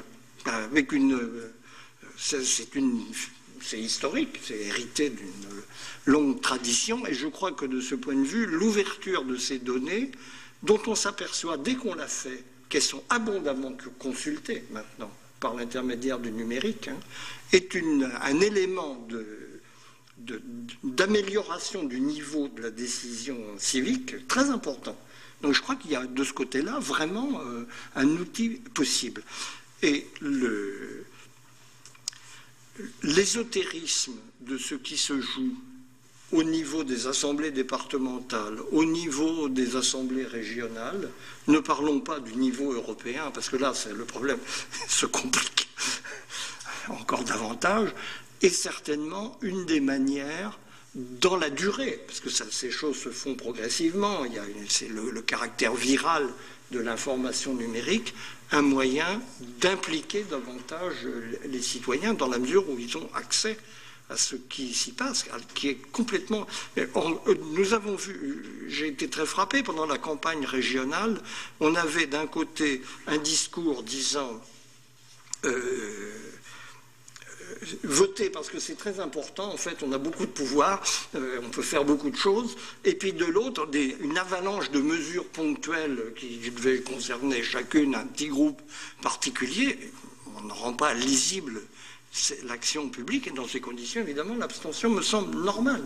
Alors ne parlons pas du niveau du Parlement européen où personne, je veux dire, vous demandez, euh, c'est très facile à mesurer, ça demande juste un peu de moyens. Combien de gens pourraient vous citer en France une décision du Parlement européen depuis l'élection euh, récente euh, qui a été opérée? Donc, le, président de la République, on le voit tous les jours à la télévision, et il parle quand il y a un choix important, on sait, on sait ce qui se passe. quand on ne sait pas ce qui se passe, euh, donc tout ce qui va dans le sens d'améliorer l'information sur les, les, choix qui sont effectués, effectivement, euh, améliore considérablement les choses, y compris euh, le... Alors, je pense qu'il y a, par exemple, en France, une procédure totalement dépassée et qui, au niveau local, joue un rôle extrêmement important, c'est l'enquête publique. La soi-disant enquête publique qui n'a de public que le nom, qui est une pure affaire d'initiés alors que là, euh, on a des moyens considérables d'élargir l'information sur les sujets qui sont théoriquement euh, entrepris. Le, rôle de nos commissaires enquêteurs et leur recrutement et leur, leur manière de fonctionner étant un sujet inépuisable. C'est quelque chose qui, alors là, au niveau local, joue un rôle extrêmement important et qui pourrait être bien amélioré de façon euh, très tranquille et sans bouleversement majeur au moyen du numérique. Catherine? Oui. Euh, on a évoqué effectivement, euh, grâce aux moyens du, numérique, la, la, possibilité de mieux informer. Je pense que tout simplement, enfin, le mode d'élection joue peut-être un peu aussi. On sait quand même que le scrutin à la proportionnelle pour les élections européennes et le pouvoir, en tout cas en France, de recasement des partis politiques, euh, des délaissés d'autres élections qu'on envoie au Parlement européen, fait qu'on a des, enfin pas tous, mais quand même un certain nombre de parlementaires européens et, qui existent dans tous les partis, qui ne se sentent pas du tout redevables vis-à-vis des citoyens de l'action qu'ils mènent, euh, mènent au Parlement. Euh, je pense que, d'ailleurs, quand on interroge nos concitoyens, peu connaissent le parlementaire européen de leur région. Ça, c'est chose. Donc, je pense qu'il y a quand même aussi, enfin, quand on est élu de, la nation et quand on est élu européen, un devoir d'information régulier de nos concitoyens à, opérer. Tout à l'heure, vous avez évoqué le sujet de la représentativité des élus. Euh, vous avez parfaitement raison de dire qu'on n'a pas une représentativité catégorielle, qu'on soit homme ou femme d'ailleurs. Néanmoins, quand vous regardez les, compositions des délégations aux droits des femmes, tant à l'Assemblée qu'au Sénat, la représentativité féminine est très supérieure à celle de la représentativité masculine. Et puis quand vous regardez la composition des, commissions, vous vous rendez compte que dans la commission des lois, vous avez un maximum de personnalités issues de professions relevant du droit. Quand vous êtes à la commission des affaires sociales, des représentants issus du monde de la santé, un peu du monde du travail. Quand vous êtes à la commission de la culture qui traite de l'éducation nationale, beaucoup de l'éducation nationale. Il y a peu d'artistes, il faut bien reconnaître, euh, chez, nous. Et malheureusement, euh, ce qui fait que euh, la tendance est à un moment donné de traiter le sujet de façon beaucoup plus technicienne que politique, finalement. Parce qu'on est toujours, on parle au nom de ce que l'on connaît, et on a sans doute de la difficulté à prendre en compte uniquement l'intérêt général. Je crois que Enfin, c'est ainsi que fonctionne le, Sénat et, l'Assemblée. Moi, pour les avoir fréquentés, euh, enfin, ces deux assemblées, euh, je, retrouve ce que je considère les mêmes travers des deux côtés. Alors, votre constat à l'égard des élus européens est très flagrant. Euh, ça, c'est un comportement qui est presque, comment dire, ils se considèrent presque comme des envoyés en mission de l'Europe, beaucoup plus que comme des représentants ou des médiateurs en quelque sorte entre l'administration européenne et, leurs électeurs. C'est un, constat qui appelle euh, en effet réflexion. Alors, vous avez, vous soulevez une question qui a été décisive dans l'histoire de la représentation. C'est cette articulation entre compétences et représentation de l'intérêt général. Au XIXe siècle, ça a pris la forme d'ailleurs de la légitimation du scrutin censitaire. Puisqu'on disait, mais comment des, gens euh, très peu lettrés, ne parlons pas même d'un alphabet, peuvent-ils prendre part valablement à des, à des discussions sur des choses euh, qui demandent un haut niveau d'information? Et finalement, on retrouve cette question avec le problème de la compétence aujourd'hui. Vous avez raison, d'un côté, ça donne une spécialisation outrancière des commissions parlementaires qui est très flagrante, ça a été d'ailleurs comptabilisé d'une manière très précise, et puis d'autre part, un reproche permanent qui est fait au personnel ministériel d'incompétence dans son domaine.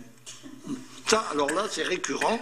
Quand dans ce domaine de l'éducation que je connais encore une fois un peu mieux que les autres, ne parlons pas du monde de la recherche, les ministres sont systématiquement accueillis par une bronca du milieu professionnel disant ils y connaissent rien. Ça, c'est une, une tension constitutive sur laquelle euh, il faut s'expliquer. Et plutôt que d'improviser, je pense que ça demanderait une vraie réflexion.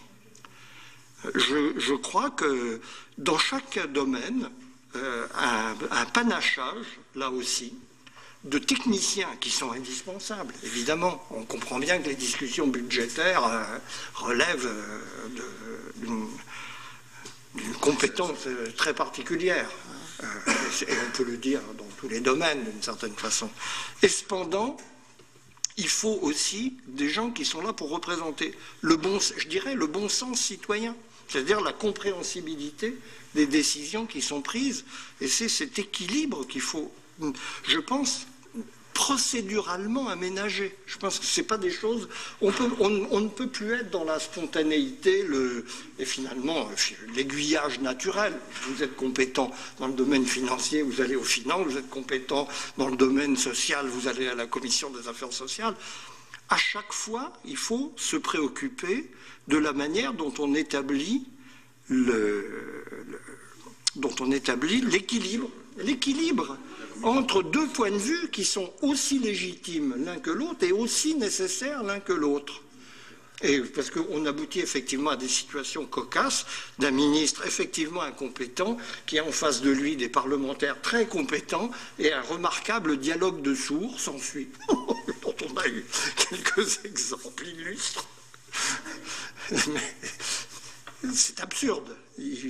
Justement, c'est le, terrain d'entente qui est important dans la, démocratie. Alors, sur la question, un dernier mot, si vous me le permettez, sur la question, vous avez employé le mot d'information. Euh, c'est un mot dangereux, enfin, c'est un mot compliqué à manipuler, parce que ce qu'il ne faut pas faire, c'est ce que j'appellerais, euh, en caricaturant, l'information propagande, qui est abondamment pratiquée, par exemple, par les assemblées euh, de toute nature régionale, ou, qui consiste à, faire valoir, vanter euh, les résultats de son action. C'est mettre à disposition des citoyens et les moyens numériques le permettent à moindre coût. C'est beaucoup moins coûteux que des luxueux bulletins des différents conseils mettre à la disposition des citoyens des informations qui leur permettent de se faire une idée précise, de s'approprier les termes de la décision. C'est très différent.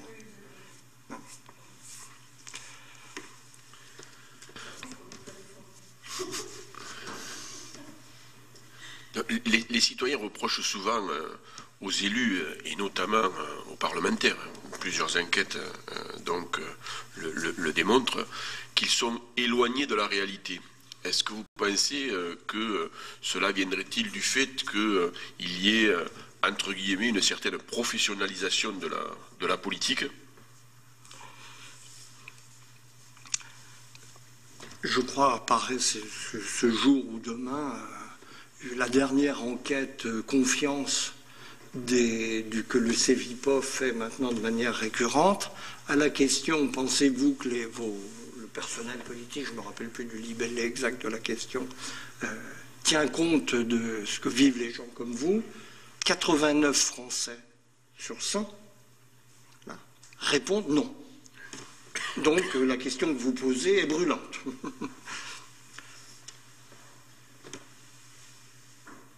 Comment faut-il la comprendre? Parce que comme toujours, dans ce genre de questionnaire, la manière de comprendre la réponse est un art en soi très différent de l'art de recueillir la réponse. L'erreur est de demander aux sondeurs d'opinion de commenter leurs sondages. Ils savent les mesurer, ils ne savent pas forcément les expliquer, les réponses. Qu'est-ce qu'il faut entendre là?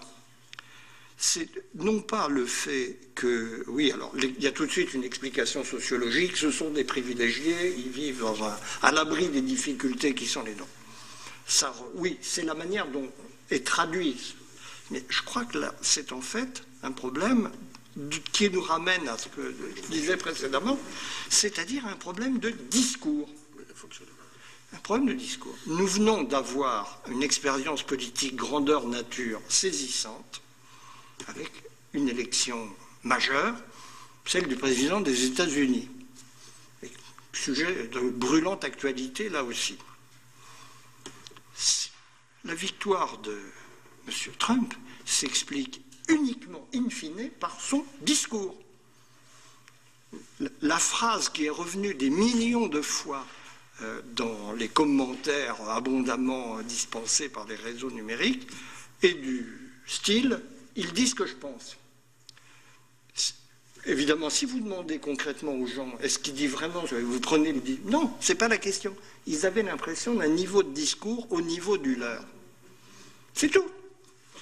Ah, par rapport à une candidate qui pratiquait une langue de bois apocalyptique. Ça, il faut, il faut bien le dire. le contraste était absolument euh, alors évidemment, l'illusion d'optique, c'est au moment des débats des candidats à la télévision, a été de se dire, il y a un, alphabet face à une personne compétente. Évidemment, du point de vue des initiés, le langage d'Hillary Clinton était euh, nettement plus sophistiqué et au point que les borborigmes euh, assez approximatifs de son concurrent. Mais du point de vue de l'effet de représentativité. reconnus à travers. eh oui, eh oui, ils se sont reconnus dans une proportion suffisante pour rattraper un handicap qui paraissait au départ euh, abyssal. Euh, bon, donc je crois que c'est là que sur le, sentiment banal des gens de ne pas retrouver l'écho de leurs préoccupations dans le discours politique. Il faut le dire, un discours, pour des raisons très compréhensibles et qui ne sont pas que coupables en plus, euphémisé, destiné à arrondir les angles, à ne blesser personne, parce que c'est un vrai sujet. Il faut évidemment euh, parler pour tout le monde. C'est une euh, obligation constitutive de la fonction représentative, mais il faut se poser la question de ce langage qui... Euh, manifestement est déphasé. nous sommes devant un problème d'invention d'un discours, pour moi, de la part du, personnel politique face à une série de choses nouvelles, hein, des, évolutions de la société très compliquées. J'en prends un exemple neutre et euh, qui ne soulève pas de difficultés particulières. L'exaspération des gens devant ce phénomène dit des incivilités, expression elle-même déjà très euphémisée, euh, qui, ne touche, qui ne blesse personne. C'est la qualité de la vie quotidienne dans, la société qui est en jeu. C'est très important, en fait. Et ça ne trouve absolument pas de relais dans la parole publique, sinon sur un mode euh, extrêmement à nouveau euh, enrobés, euh, où les gens ont l'impression, traduisent immédiatement, ils ne vivent pas ce que je vis, ils sont sur une autre planète. En fait, c'est pas vrai, évidemment que les représentants sont dans la même société, ils connaissent ça par cœur. Mais ils n'ont pas le langage qui répercute une série de préoccupations. C'est vrai pour l'immigration, c'est vrai pour l'éducation, c'est vrai pour le travail. Je pense qu'une des erreurs essentielles dans la manière dont le gouvernement, quoi qu'on pense de sa loi, a présenté les choses, c'est de ne pas faire, de ne pas donner le sentiment de faire écho à ce qu'est le vécu du travail aujourd'hui, qui est très nouveau par rapport à ce qu'était la condition prolétarienne, assez bien répertoriée, et qui euh, donnait aux salariés l'impression de gens qui parlaient d'ailleurs par rapport à ce qu'ils vivent dans leurs entreprises. Donc euh, ça, c'est une je dirais, une des fonctions euh, de la politique, en général, que ce soit les partis, les représentants ou les gouvernants, c'est d'inventer un langage dans lequel une société peut se reconnaître. Alors, de l'inventer parce qu'il doit effectivement être respectueux, digne, mettre dans une forme qui nomme sans blesser, sans stigmatiser, comme on aime tellement à dire aujourd'hui, le mot est absurde, mais désigne bien une réalité. Sans être populiste. Et ça, ben oui, si vous ne le faites pas, eh bien, il y a des gens qui exploiteront cet écart en tenant, eux, un langage indigne, irrespectueux, violent et dangereux, au final, par ses conséquences. Trump, il n'a pas été très respectueux, quand même, dans son langage. Non, je, mais justement, lui, c'est, il est l'exemple du transgresseur qui réussit. Il réussit par la transgression, parce que la question n'a pas été. Je veux dire, il se trouve qu'hier même, je, j'étais avec un musicien de jazz qui, qui revenait euh, des États-Unis et qui m'expliquait sa stupeur devant le fait que des Noirs, des, musiciens avec lesquels il travaille, Noirs et Latinos, ont voté pour Trump. Mais après tout, il a dit, mais tu es pas, euh, tu ne te rends pas compte, dans mon quartier, c'est les gangs. Euh, moi, je m'en fous qu'il soit noir ou latino, ma fille. Je suis obligé d'emmener ma fille à l'école tous les jours en bagnole, euh, parce que je sais que je ne peux pas la laisser faire 500 mètres à pied sans, risquer quelque chose. Ben oui, voilà. Et ce langage-là, cette préoccupation-là, n'est pas répercutée. Donc, quand quelqu'un qui va tenir, peu importe l'effraction qu'il opère par rapport au discours convenable, il apparaît comme vrai par rapport à des gens qui passent à côté. Oui, parce qu'il ne fait pas partie d'un système. Il n'est pas dans le système politique. Et c'est un. Eh bien oui, c'est la vraie. entrepreneur qui est arrivé. Hmm Mais ce que vous dites sur la loi travail est très intéressant parce que ceux qui ont le plus contesté l'article parlant de la négociation sociale en entreprise, en fait, l'ont alimenté, l'alimentent, je n'allais pas dire quotidiennement, mais très fréquemment, dans leur vie quotidienne et dans leur relation de travail et dans leur mode d'organisation du travail.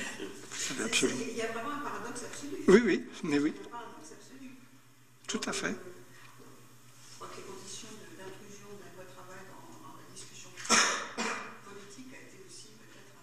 c'est là le, véritable problème. Mhm. Le diagnostic, définir les enjeux, expliquer et prendre la décision. Puis le 49.3. Non. Mais bien sûr. Ah oui, oui, oui, oui, oui tout à fait. Le, le, dans le, c'était le, c'est l'exemple type où on avait une impossibilité de s'entendre sur les termes dont il s'agissait de débattre. D'un côté, les deux points sensibles, finalement, c'était très clair, c'était est-il vrai que les patrons n'embauchent pas parce qu'ils ne peuvent pas licencier? Question simple. Hein. Alors, euh, inextricable du point de vue du, du citoyen non prévenu. Deuxième point inexplicable, comment se passe précisément la négociation dans l'entreprise? Personne n'était capable de fournir une représentation de cette réalité qui est la clé de tout. Oui, ben, euh, oui, oui. Alors que par ailleurs, euh, on a vu là, euh, beaucoup d'enquêtes sont, sont, venues dans la foulée, plus de 70% des Français ont une bonne opinion des petits patrons des patrons de PME. Qui représentent 90% des entreprises. Oui, oui, ben oui. on voit les décalages sont impressionnants. Ben la je dirais la fonction de représentation, c'est de permettre de dépasser ces décalages. Oui, bien sûr. Oui, oui, bien sûr.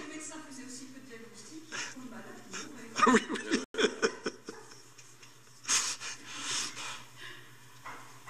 Très bien. Est-ce qu'on a épuisé les, les questions? Oui, vraiment. Euh, merci, professeur, de, ce débat très enrichissant euh, pour nous, euh, même si on a une tâche difficile dans la mission que, nous menons. C'est pas moi qui dirais le contraire. Voilà, des experts comme vous, il y en a beaucoup qui ont planché sur la question, mais il était quand même important, et il est important que euh, des élus euh, comme nous euh, se penchons sur la réalité, le constat qui est, fait pour essayer de faire avancer vos travaux et de faire peut-être quelques propositions pour essayer de faire changer les choses. En tout cas, merci de nous avoir accordé, accordé ce temps. Voilà, vous avez donc euh, pu suivre l'audition de Marcel euh, Gaucher dans le cadre de la mission d'information sur la démocratie euh, participative. Je vous propose maintenant un tout autre sujet, la commission d'enquête sur la réalité des mesures de compensation des atteintes à la biodiversité engagées sur des grands projets d'infrastructure. Alors les sénateurs se penchent notamment sur quatre projets, l'aéroport de Notre-Dame-des-Landes, la ligne TGV Tours-Bordeaux, l'autoroute A65 et enfin eh bien, le projet de réserve d'actifs naturels de Cossure en pleine de l'Acro. Il faut être conscient que euh, notre réseau de 30 000 km, hein, réseau ferré national aujourd'hui est à peu près enfin, 30 000 km exploités. Euh, ce réseau a été pour la plus grande partie euh, construit bien avant la loi sur la biodiversité de 1976. et donc ce réseau existant n'a pas été, au moment de sa conception en tout cas, soumis à nos réglementations et nos lois en vigueur. Euh, essentiellement, c'est le réseau LGV hein, qui, a été, euh, qui, a été, développé depuis les années 80, qui est le réseau d'à peu près 2000 km, hein, qui lui, évidemment, euh, a été, depuis la loi de 176, soumis progressivement, puisqu'on va en parler, hein, la législation a, a, évolué, soumis à ces réglementations et lois sur la biodiversité. Alors, en matière de, réduction, euh, la réduction, euh, nous le font évidemment au, moment de la conception des projets. Cette conception des projets, et je vais y revenir, hein, nous avons un système qui est un système dit en entonnoir, je vais, illustrer ce que je veux dire par là, hein, d'études progressives de zones, et puis de la zone, on va jusqu'au tracé final. Et donc, à chaque étape de ces études préliminaires, à chaque étape, on regarde les impacts sur la biodiversité. Euh, en matière de réduction, c'est essentiellement par le rétablissement de passage d'un côté à l'autre de la voie ferrée. Euh, je cite par exemple pour la LGV Est européenne, nous avons 70 passages pour le grand gibier, puis à peu près entre 110 et 115 passages pour le petit gibier. Ce sont donc des passages de, taille variable, en effet, euh, qui permettent de passer d'un côté à l'autre de, la voie ferrée. Nous avons, euh, et on va en reparler sur les projets, les derniers projets comme SEA, qui est un des, sujets d'aujourd'hui. Euh, évidemment, nous avons euh, augmenté, hein, l'augmentation, est très nette sur ces passages. On va revenir, on en a à peu près un par kilomètre aujourd'hui. Donc c'est très nettement plus que ce qu'il y avait sur, ces, sur, les, sur, la LGV Est européenne, qui est la dernière qui est née, hein, puisqu'elle a été inaugurée cette année, en 2016, pardon. Enfin, on a un programme de compensation euh, extrêmement important qui va s'accélérant, et on va, revenir sur ce point-là aussi, puisqu'aujourd'hui, SNCF Réseau euh, est responsable d'environ 900 hectares en matière de compensation. Alors, si je reviens sur quelques chiffres pour illustrer le débat, euh, donc, comme je disais, 30 000 km de, lignes qui représentent à peu près 50 000 km de voies. En effet, certaines lignes sont des lignes à voie unique et euh, qui représente 90 000 hectares de dépendances vertes. Ce que j'appelle les dépendances vertes, ce sont en effet toutes les surfaces qui appartiennent à, SNCF Réseau, mais qui sont en dehors de la plateforme, qui ne sont pas la plateforme elle-même. Hein. Pour la plateforme elle-même, euh, juste pour donner un ordre de grandeur, hein, une ligne à grande vitesse consomme en gros 10 hectares au kilomètre pour une plateforme qui fait à peu près 15 mètres de large. Hein. Donc 10 hectares au kilomètre. Euh, donc on voit que les, infrastructures totales, en tout cas la, superficie, hein, si vous prenez 30 000 km de ligne et l'ordre de grandeur par 10 hectares, ça vous fait 300 000 hectares, auquel vous rajoutez 90 000 hectares de dépendance verte. Alors j'ai pas le, voilà, c'est l'ordre de grandeur pour les 300 000, hein, bien sûr, il faut pas. Euh, la majorité du linéaire de réseau ferré a été construit, donc, comme je disais, au XIXe siècle. Et la deuxième partie, celle qui a été construite depuis les lois de 1976, c'est essentiellement, essentiellement les LGV, le programme LGV que nous avons euh, sur notre territoire national. Alors, euh, ce qui est indéniable, en effet, c'est euh, la fragmentation aussi des, milieux que nous traversons. Et sur ces sujets-là, les lignes ferroviaires n'engendrent pas que des euh, contraintes négatives sur la biodiversité, hein, puisqu'il y a le côté longitudinal qu'il faut prendre en compte. Il y a des études qui ont été faites, une étude, notamment un projet qu'on appelle le projet transfert, sur lequel on pourra vous donner bien sûr plus de détails, qui montre qu'en effet, il y a des effets positifs aussi de la part de, de, ces lignes, puisque ça fait en gros des corridors de biodiversité. Les lignes sont des corridors de biodiversité. Donc d'un côté, en effet, les nouvelles lignes ferroviaires euh, impactent la biodiversité aux alentours et il faut euh, là, euh, évidemment, l'éviter, la, réduire et la compenser. Mais d'un autre côté, ces corridors créent aussi de la biodiversité et alimentent la biodiversité. Le deuxième point sur lequel je, voudrais, mettre un, accent, c'est que nous avons un certain nombre d'actions aussi sur le réseau existant. Hein, évidemment, on va revenir sur les nouvelles lignes hein, LGV, mais sur le réseau existant, nous avons un certain nombre d'actions euh, pour justement euh, favoriser la biodiversité, ou en tout cas limiter l'impact que, euh, que ce réseau ferroviaire a eu par le passé. Par exemple, on travaille beaucoup sur les continuités écologiques en matière de cours d'eau, par exemple. Hein. on s'est engagé, à travers notre charte, on s'est engagé à rétablir 100% des continuités hydroécologiques d'ici 2025 sur l'ensemble du réseau. En matière aussi d'action sur l'éco-pâturage, on a un partenariat avec l'Office national des forêts pour euh, justement avoir une gestion différenciée des végétations pour l'implantation de mélanges de mellifères, par exemple, sur des talus. Enfin, euh, nous avons dans notre programme de cession de voies ferrées, d'anciennes voies ferrées qui sont en général plus utilisées, nous avons avec les, avec collectivités locales des programmes pour les voies vertes, pour les vélorails, pour, tout un tas de thèmes qui permettent d'avoir une action sur la biodiversité.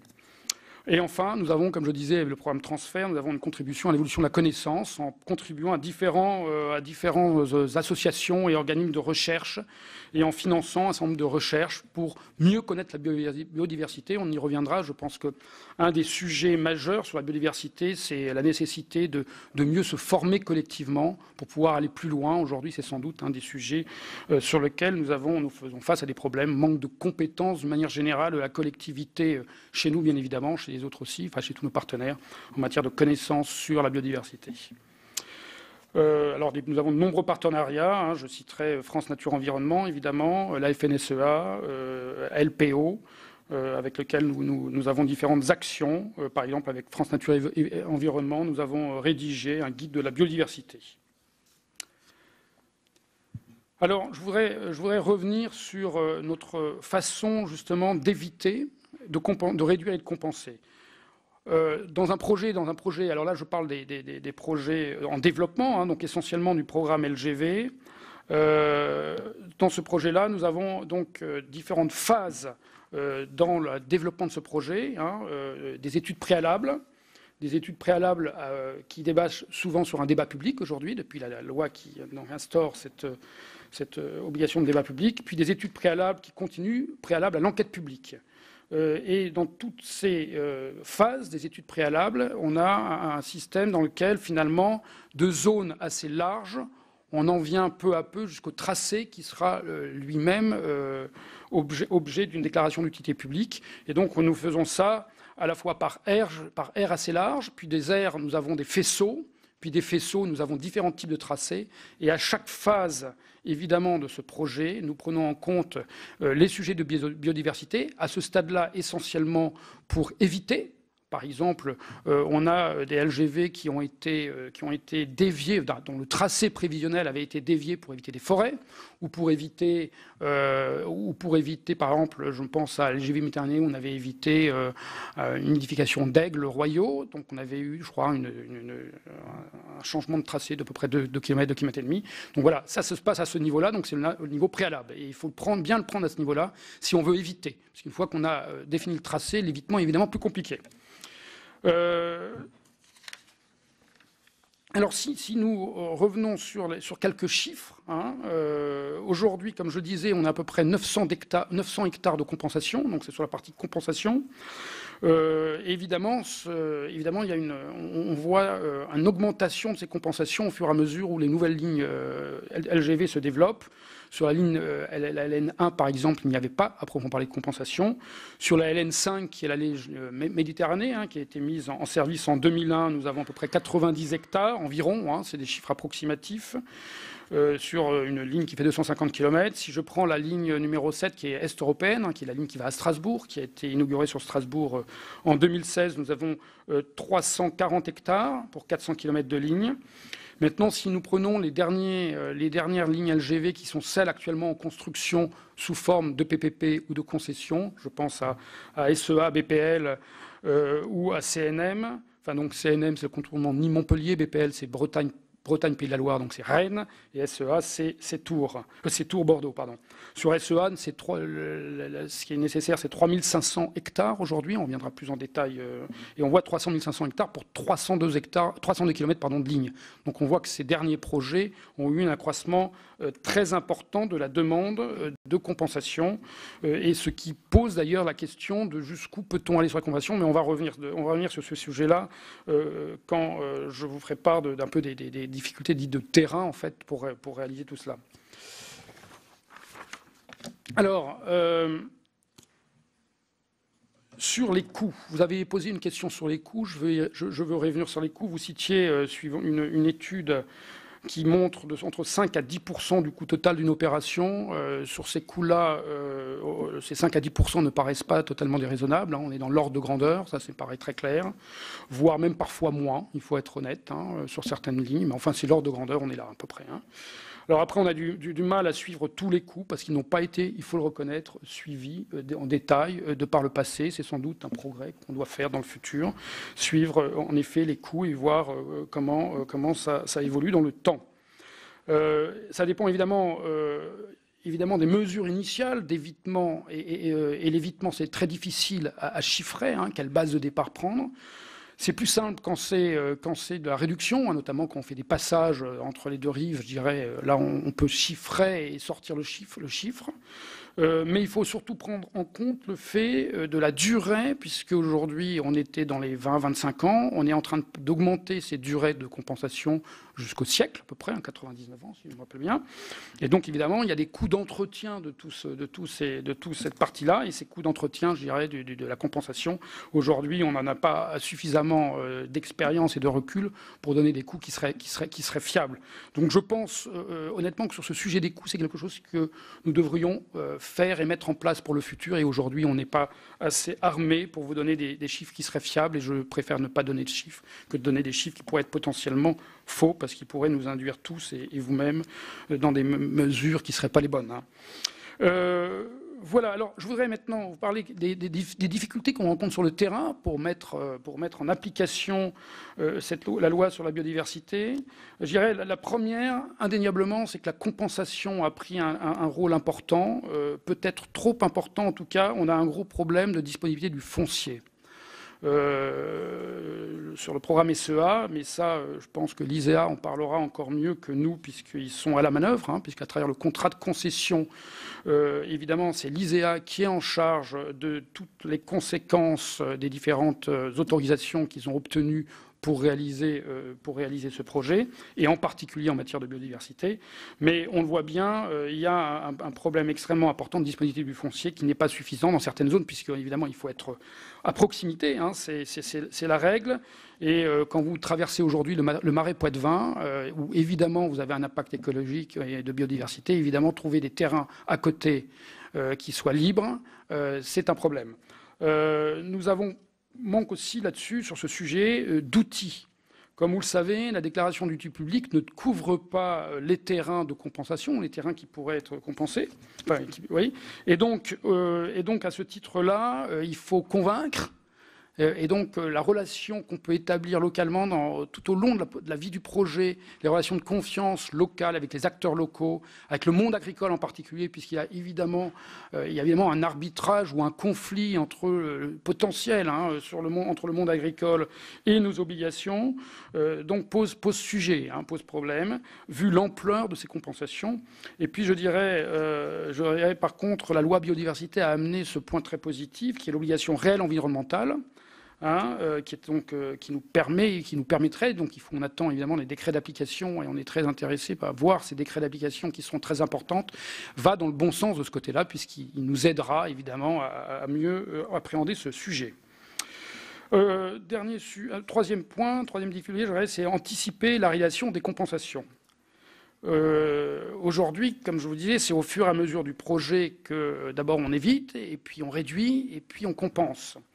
Euh, tant que le projet n'est pas certain d'être réalisé, aujourd'hui, on n'engage pas de dépenses de compensation à proprement parler. On le fait, on, va dire, en aval du process. Et, là, évidemment, bah, comme il n'y a pas forcément les réserves foncières, etc., euh, il y a un sujet. Donc, un point serait de dire est-ce qu'on peut anticiper et dès, dès, les premières phases du projet le faire? Alors évidemment, ça pose le, sujet suivant, c'est qu'il faudrait avoir des financements pour le faire, et si le projet ne débouche pas, eh ben, il, y a, un problème. Hein. Donc voilà, donc réserve foncière plus en amont, qui permettrait peut-être de pallier ou de simplifier, en tout cas d'avoir une effectivité plus forte sur les compensations foncières. C'est une question, mais c'est un sujet aujourd'hui pour nous. Euh, je dirais, euh, point, suivant qui est important pour moi, c'est euh, la difficulté pour nous à trouver des partenaires. comme vous dites, donc des partenaires déjà pour acheter des terrains qui seraient des terrains qui permettraient la compensation, mais aussi des partenaires pour. c'est pas notre spécialité de gérer ces espaces naturels. Hein, c'est pas le le métier de SNCF Réseau. Donc deux types de partenaires, des gestionnaires d'espaces naturels Hein, euh, comme les conservatoires, les syndicats mixtes, qui peuvent mettre en œuvre, coordonner, suivre le programme de gestion compensatoire. Et puis de l'autre côté, des exploitants, exploitants agricoles ou associations, euh, qui peuvent mettre le programme de gestion sur la parcelle, faucher, tailler, faire les travaux que des agriculteurs savent faire.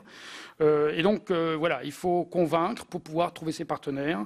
Je dirais de manière peut-être un peu générale, sur ce thème-là aujourd'hui, on est encore dans des phases qui sont relativement initiales et la professionnalisation de tout ça pas reste sans doute euh, un sujet important. Euh, je dirais, le dernier point de difficulté pour nous, c'est euh, la difficulté de, confiance et, d'anticipation. alors, je voudrais dire par là, quand on regarde l'évolution juridique et réglementaire, euh, il y a eu une évolution, bien évidemment, ces 10, 20 dernières années importantes.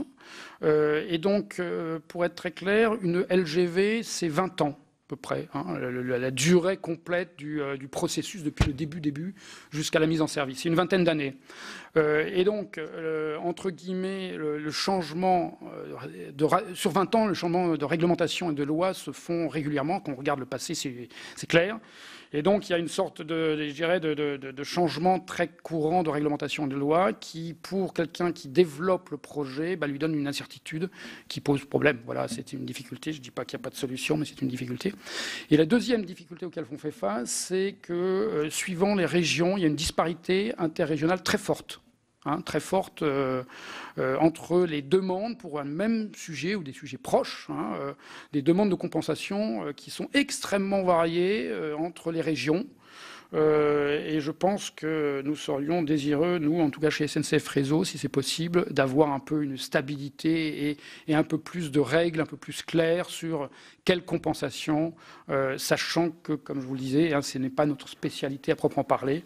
Donc, quelle compensation euh, Comment pourrait-on uniformiser un petit peu les, compensations? Parce que du coup, on peut très mal prévoir eh ben, à la fois les coûts, à la fois la programmation des projets, et ça reste pour nous un, sujet important, hein, la, la, visibilité, la programmation et évidemment la programmation sur les coûts.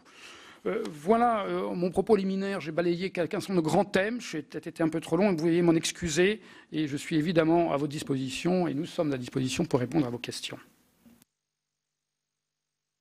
Très bien, merci beaucoup de ce long mais très intéressant euh, propos. je vais passer la parole à Ronan Dantec qui, je le vois, a toute une page de questions. Non, je, vous rassure, c'est une page surtout de, de remarques. Je vous remercie pour vos propositions parce que je crois qu'elles rejoignent déjà nos, préoccupations. Alors, euh, quelques questions, bien évidemment. D'abord, on, va revenir sur l'aspect euh, biodiversité. Euh, je voulais vous, vous demander aujourd'hui, donc vous l'avez un petit peu, un petit peu dit, mais sur, sur cette question de, de, rupture, de coupure que provoque la, la, la voie. Donc, vous nous avez parlé des études que vous avez lancées qui font que vous avez créé un mini corridor euh, de, fait, euh, pour savoir si vous avez quand même mené aussi des études dans l'autre sens pour avoir une vision plus précise aujourd'hui euh, des, impacts en morcellement d'habitat, c'est-à-dire quelle est votre vision sur ce point-là, puisque je pense que évidemment c'est une question qui vous intéresse, et, du coup en complément de savoir s'il n'y a pas un risque euh, demain, que vous ne soyez pas tentés de, rajouter des grillages un peu partout. Parce que nous sommes tous de grands usagers du train, donc nous connaissons euh, les collisions avec les chevreuils et les sangliers, qui sont quand même pour l'exploitation du réseau un, vrai enjeu. C'est pas un enjeu secondaire en termes de, retard possible. Donc, est-ce que vous n'auriez pas la tentation, sur des voies plus anciennes, évidemment, de rajouter des grillages et d'essayer d'éviter les, collisions avec les, grands animaux.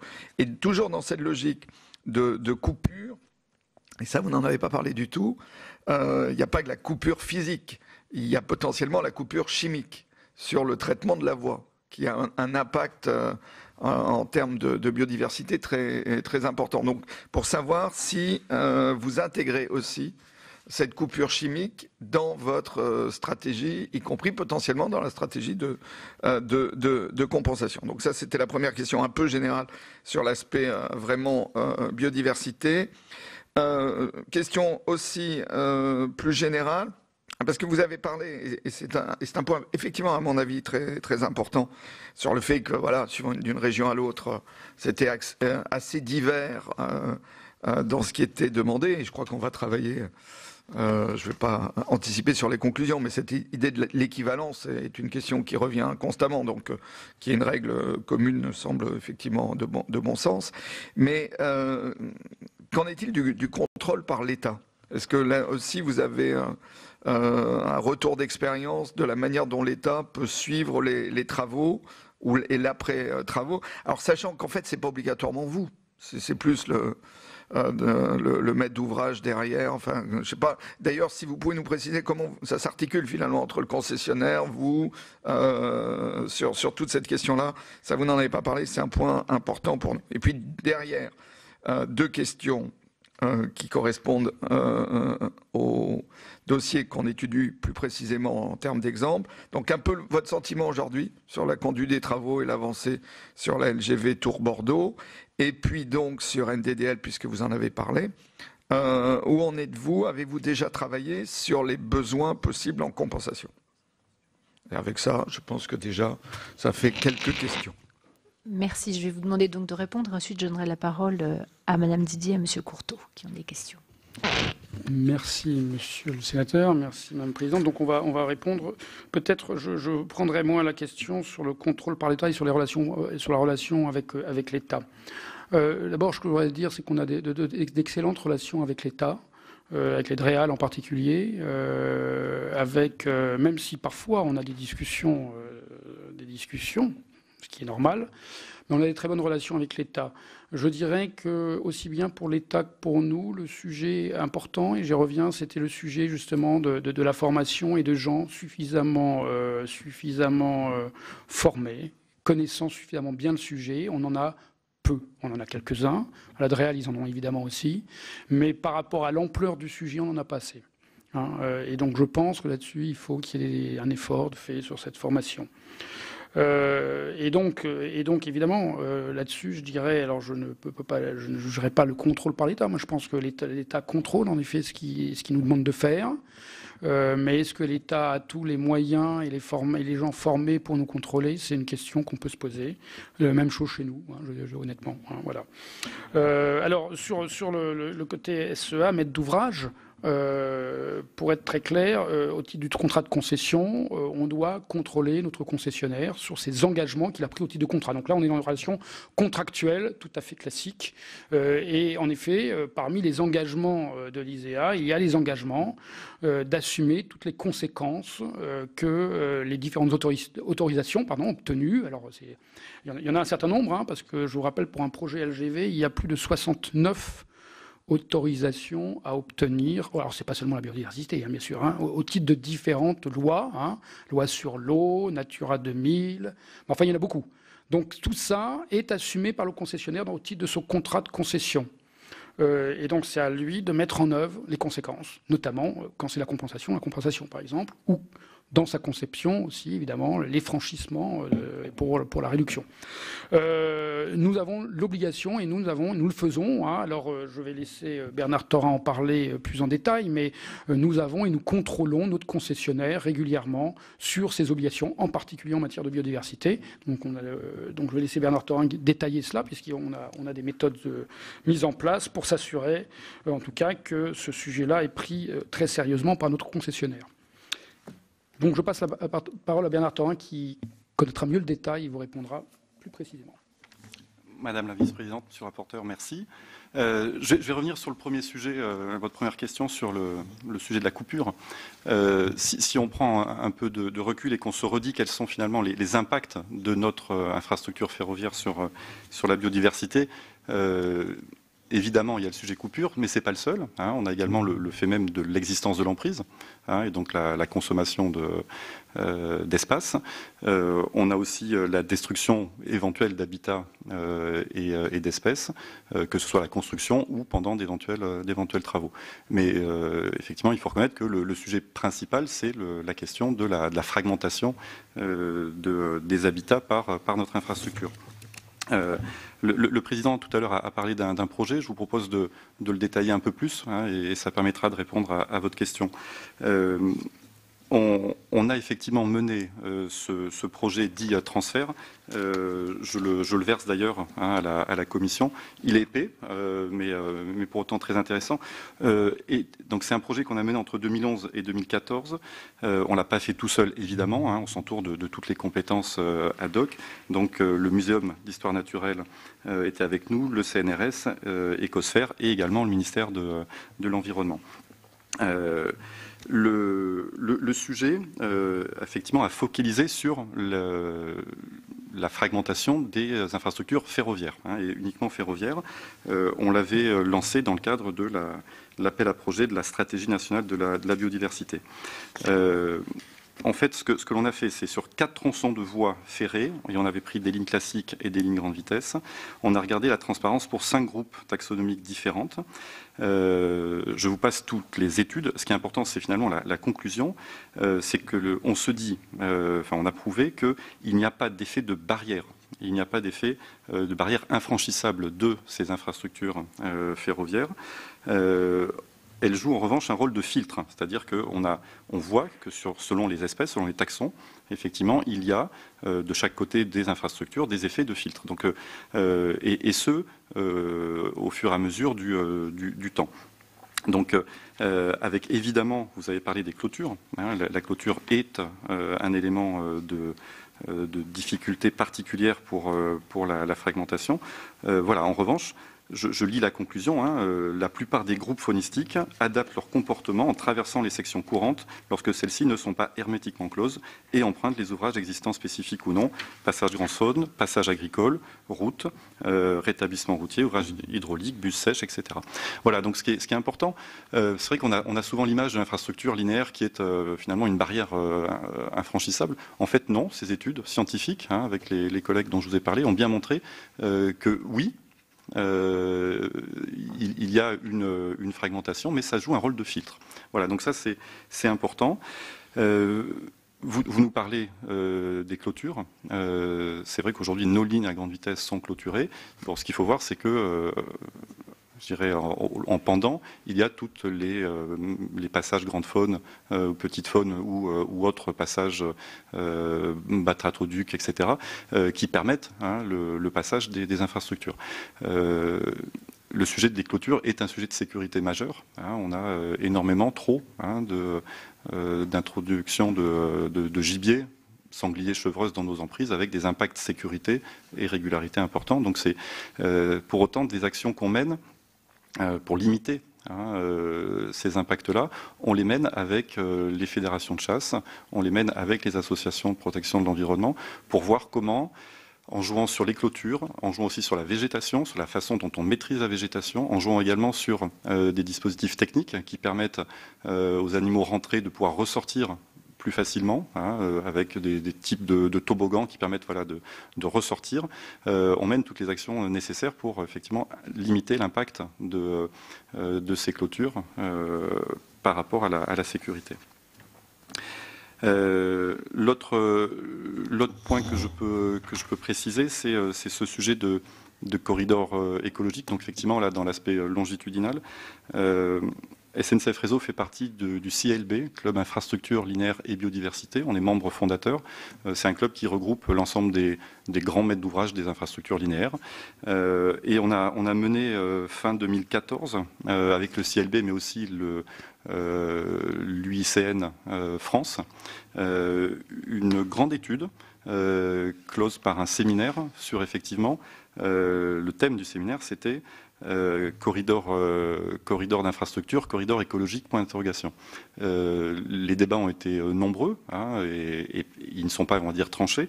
La, conclusion, je vous la livre là aussi, in extenso. donc les, travaux confirment que la contribution des infrastructures de transport et leur emprise peut être possible en faveur de la biodiversité si un ensemble de précautions sont prises pour éviter les atteintes et aménager les espaces de manière optimale. Euh, donc là aussi, c'est euh, peut-être un préjugé hein, euh, qui, est levé, à savoir que oui, les infrastructures linéaires, dont les infrastructures ferroviaires, sont, peuvent être si, on prend, euh, si on y prend garde, euh, en particulier en, termes de maîtrise de la végétation, en termes de gestion des clôtures, en termes de, connaissance de la faune, de la flore qui existe, en termes aussi de, partenariat avec les associations qui connaissent ces milieux-là, on est capable effectivement de faire de ces infrastructures des, finalement des espaces à impact biodiversité positif. Vous nous, vous nous, interrogez également sur. Euh, donc là, on vient de parler du traitement physique, vous avez parlé du traitement chimique de la voie. Euh, pour, assurer la, maîtrise de la, végétation de, nos voies, euh, on fait appel à des méthodes mécaniques et des méthodes chimiques. pour être très synthétique, on a un objectif tiré par des, des critères de sécurité, du zéro végétation sur la plateforme. Hein, et vous comprendrez bien que au même titre que sur les routes, hein, euh, voilà, pour voir les signaux, pour euh, assurer la surveillance euh, des installations, pour assurer le, dispositif de, retour de courant, de continuité, pour assurer également la stabilité de la plateforme. Il est important qu'il n'y ait pas de végétation hein, sur les espaces techniques. ensuite, on, a une règle de, on va dire, de gestion plus raisonnée hein, sur les abords sachant qu'on a des pistes également hein, qui sont le long des voies qui permettent le cheminement de nos personnels, mais également des, clients en cas de transbordement par exemple, rarissime, mais il faut néanmoins assurer, ou des services de, euh, secours au cas où. Donc il faut assurer hein, le, cheminement en toute sécurité. Donc on a, des, contraintes hein, sur la, bonne maîtrise de la végétation. Euh, on utilise de fait, euh, puisqu'on a 30 000 kilomètres de ligne, hein, on vient de le dire, euh, à, gérer, on utilise des traitements phytopharmaceutiques. Euh, ce qui est important de, noter, c'est que ces traitements, on, les optimise. On a divisé par trois la quantité de produits utilisés sur nos plateformes depuis, depuis 10 ans. nos personnels sont formés, sont certifiés. On a développé des méthodes très innovantes de, GPS qui équipent nos, nos trains désherbeurs, ce qui permet de couper l'utilisation, hein, l'épandage de produits euh, phytopharmaceutiques au droit des cours d'eau ou quand on est euh, près d'une euh, zone de, captage d'eau potable. Hein. donc on est complètement, on va dire, conforme à tous les arrêtés préfectoraux en, la matière. Et nous n'utilisons, on va dire, que euh, enfin, moins d'un pour cent hein, euh, des produits euh, phytopharmaceutiques consommés en France. Voilà. Et, toujours dans une, dans une optique de réduction et de maîtrise vis-à-vis des, risques. Donc le, là aussi, des débats d'experts sont possibles. Notre, nous ne considérons pas hein, que l'utilisation des produits phytopharmaceutiques a un impact sur la biodiversité sur, sur nos lignes, de par toutes ces, toutes ces actions.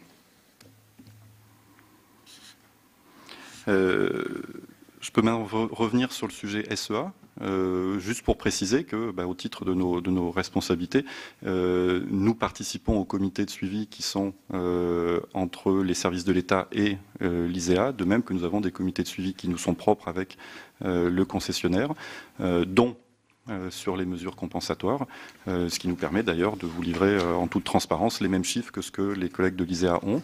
voilà, donc un, je dirais un, suivi au fil, au fil de l'eau de leur, de leur avancement en termes de, de, mesures compensatoires. Mais on a également la responsabilité, on, a fait ce qu'il faut pour suivre la, la qualité des chantiers en termes environnementaux. Hein, donc là aussi avec une, un suivi tout au long du, du chantier des, des, équipes. Alors, puisque vous, vous en parlez précisément, Comment vous expliquez dans ce cas-là la, condamnation euh, qui est tombée en, décembre euh, de COSEA euh, justement sur certains travaux et notamment sur le fait qu'ils n'avaient pas mis, alors que c'était bien prévu dès le départ, un certain nombre de, filtres sur, la, sur, les qualités des eaux. Donc là, il y a quand même une condamnation. Donc, quel, bilan vous en tirez? Est-ce que vous, vous n'avez pas assez assuré le, le, le suivi? Est-ce que derrière, vous leur avez remis la pression Est-ce que c'est l'État qui n'a pas assuré euh, sa part? C'est-à-dire, le, monde n'est pas aussi parfait que, cela, puisque là, il y a une condamnation au tribunal au mois de décembre. Ah ce qu'on peut se dire, c'est qu'effectivement, il y a eu, euh, surtout en fait, en phase de démarrage des chantiers, euh, l'organisation de l'ISA qui s'est mise en place, mais je pense qu'ils en parleront mieux que nous.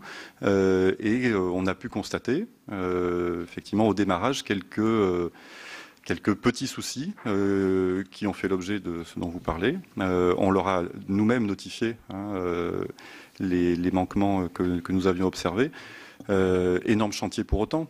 et tout ce qu'on peut dire, c'est qu'il y, a eu une très bonne réaction des équipes en termes d'organisation, en termes de moyens, de compétences sur le chantier, et que voilà, depuis de très nombreux mois, les, observations qu'on peut avoir sont minimes. Hein, voilà, donc je dirais en résumé quelques erreurs non pardonnables de fait, hein, euh, contraire à la loi au démarrage, mais une très bonne réactivité hein, et une, remise euh, en conformité, une remise dans les rails euh, très rapide. Vous, parlez du montant des travaux sur ce point, parce que c'est un point important.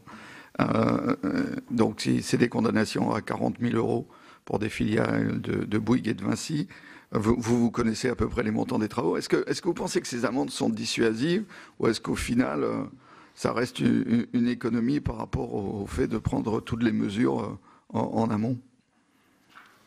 J'ai du mal à m'exprimer sur le sujet. Je ne sais pas si en creux, enfin, ce que je peux vous dire en creux, peut-être de votre question, c'est que euh, je n'ai pas le sentiment que l'ISA a essayé de faire des économies en prenant le risque de la pénalité.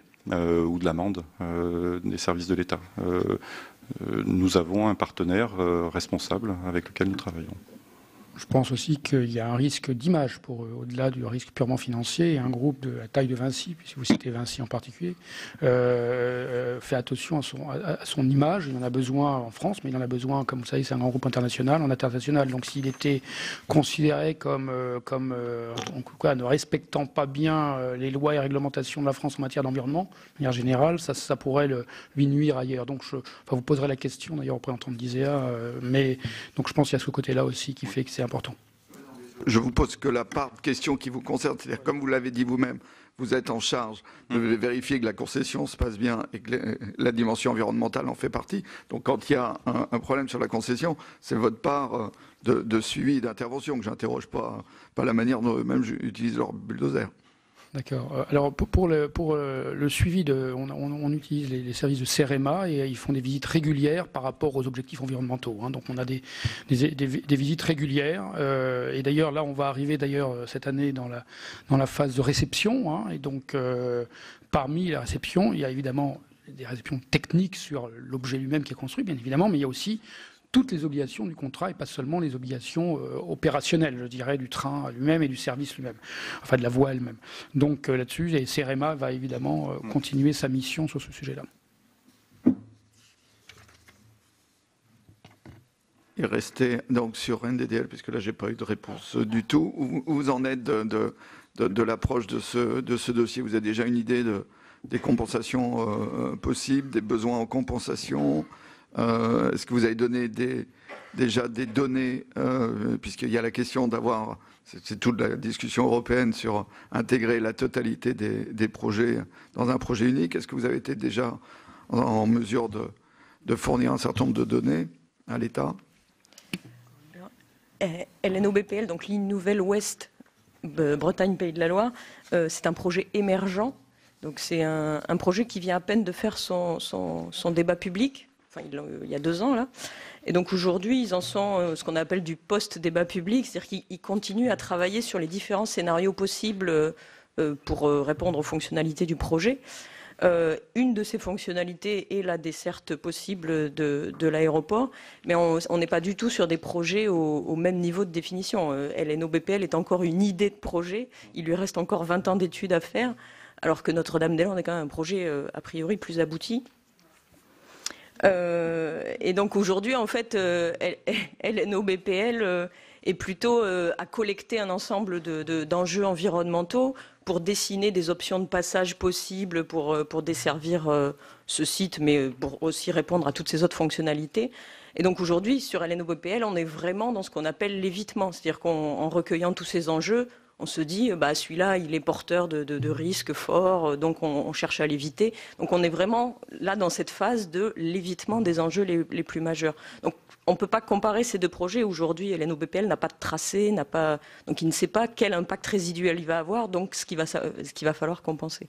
Oui, non, mais parce qu'il y a quand même, euh, la Commission européenne demande bien euh, d'avoir une vision globale de l'ensemble euh, du projet, y compris les dessertes. Ça veut dire que l'État ne vous a pas demandé pour l'instant du tout de données sur les besoins en compensation de la desserte de Notre-Dame-des-Landes. Parce qu'on ne les connaît pas. On ne sait pas où va passer le projet. D'accord. Voilà, euh, votre réponse est très, très simple et très claire, donc évidemment, ça ne peut pas être intégré dans la demande européenne. Très bien, merci. Evelyne, Didier Merci, Madame la Présidente. Alors, dans, le prolongement des questions euh, qui vous ont déjà été sans doute posées, vous avez évoqué la question de la DUP en disant, au fond, la DUP ne prévoit pas, ne couvre pas la compensation. Est-ce que vous auriez des propositions à faire? Est-ce que ce serait crédible d'envisager euh, quelque chose au niveau de la DUP ou bien est-ce complètement utopique compte tenu de ce que vous nous avez expliqué de la manière dont se conduit le projet? Première question. Deuxième question, euh, mais, euh, c'est vraiment dans le désordre. Hein. Vous avez évoqué la question des phytos et effectivement, quand on prend le train, on peut le constater, il y a des, plantes qui poussent. J'évite maintenant le, terme de mauvaise herbe, on me répond toujours il n'y a pas de mauvaises herbes. Donc il y a des plantes qui poussent euh, euh, le long des voies ou entre les voies, et, au fond, c'est effectivement pas un problème. Sauf que la culture euh, et le regard que nous avons jusqu'ici, c'était que ça dérange. Alors, je connais des pays où effectivement ça ne dérange plus parce que c'est une habitude depuis très longtemps. Je pense à la Suisse en particulier sur certains, sur certains espaces. Mais nous, nous n'en sommes pas, je crois, encore là tout à fait. Est-ce que vous avez des communications justement en direction de vos voyageurs et en direction des riverains pour dire, voilà, il y, a des plantes qui poussent, mais ça n'est pas gênant et ça n'est pas forcément esthétiquement mauvais. Euh, c'est une question de regard. En tout cas, est-ce qu'il y a cette volonté d'éduquer aussi en même temps? Quand je dis communiquer, pour moi, ça veut dire éduquer. Euh, voilà ma troisième question, vous avez évoqué la question de, des différences entre régions, des pratiques et des règlements, de la manière de l'appliquer. Est-ce que vous diriez que c'est une question de jurisprudence locale? Est-ce que c'est une question de personnel? Euh, En gros, ça dépend des DREAL euh, et des équipes de DREAL et du DREAL lui-même. Est-ce que, euh, au fond, et comment Pensez-vous qu'on pourrait régler cette question, soit à travers des textes, soit aussi à travers des rencontres ou des formations, pour uniformiser? Qu'est-ce que, vous préconiseriez? Vous avez évoqué le contrôle de l'État. Alors, je vais revenir sur un sujet qui m'est cher, la, concession. Euh, oui, pardonnez-moi. Vous vous y attendiez. Euh, la concession, c'est un contrat très particulier, on le sait.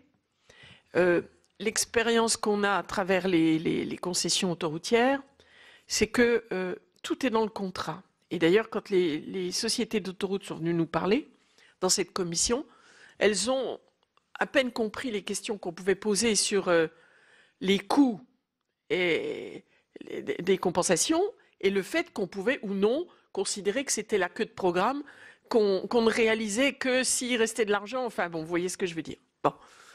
Euh, l'environnement étant euh, malheureusement souvent dans, les, projets ce qui est traité en dernier, effectivement, s'il reste de l'argent. Et, pour moi, le contrat, c'est quelque chose dans lequel tout est prévu.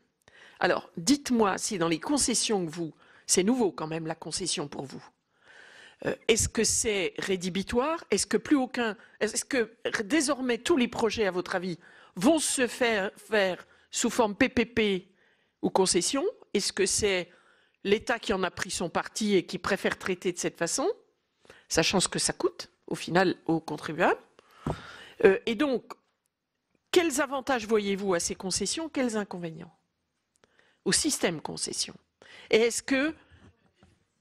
Pardon? Oui, mais on est bien d'accord qu'on est sur ce sujet-là. Euh, et on a vu, par exemple, avec les autoroutes, que ça pouvait donner plus de confort d'avoir ce type de contrat. Donc, euh, ne croyez pas que je sois complètement obtuse sur le sujet. Euh, mais voilà, on essaye de, comprendre parce que si ça devient le modèle économique euh, systématique dans les grands projets, on en connaît les inconvénients, mais ça peut effectivement permettre des avantages. Sauf que vous ne nous décrivez pas les choses de la même manière que les autoroutes. Et c'est là que je ne comprends pas. Parce qu'au final, on retrouve les mêmes. Hein concessionnaire. Et donc, on a l'impression d'une différence de traitement de la concession elle-même. Voilà, je crois que j'ai terminé. Merci, Madame la Présidente. On va prendre les questions également de Roland Courteau, si ça vous... Et de Gérard Bailly ensuite. Oui, il a été répondu à, mon interrogation sur la coupure chimique, donc euh, je n'y reviens pas. Par contre, il a été répondu en partie seulement à ma deuxième interrogation. Euh, je m'explique. Euh, vous avez dit que les corridors créent, je reprends exactement vos, termes, créent et alimentent la, la biodiversité. J'aimerais que vous soyez un petit peu plus précis. Ce sont ces deux verbes qui m'interpellent, créer, alimenter. En quoi en quoi euh, les corridors euh, créent-ils et alimentent-ils la, biodiversité?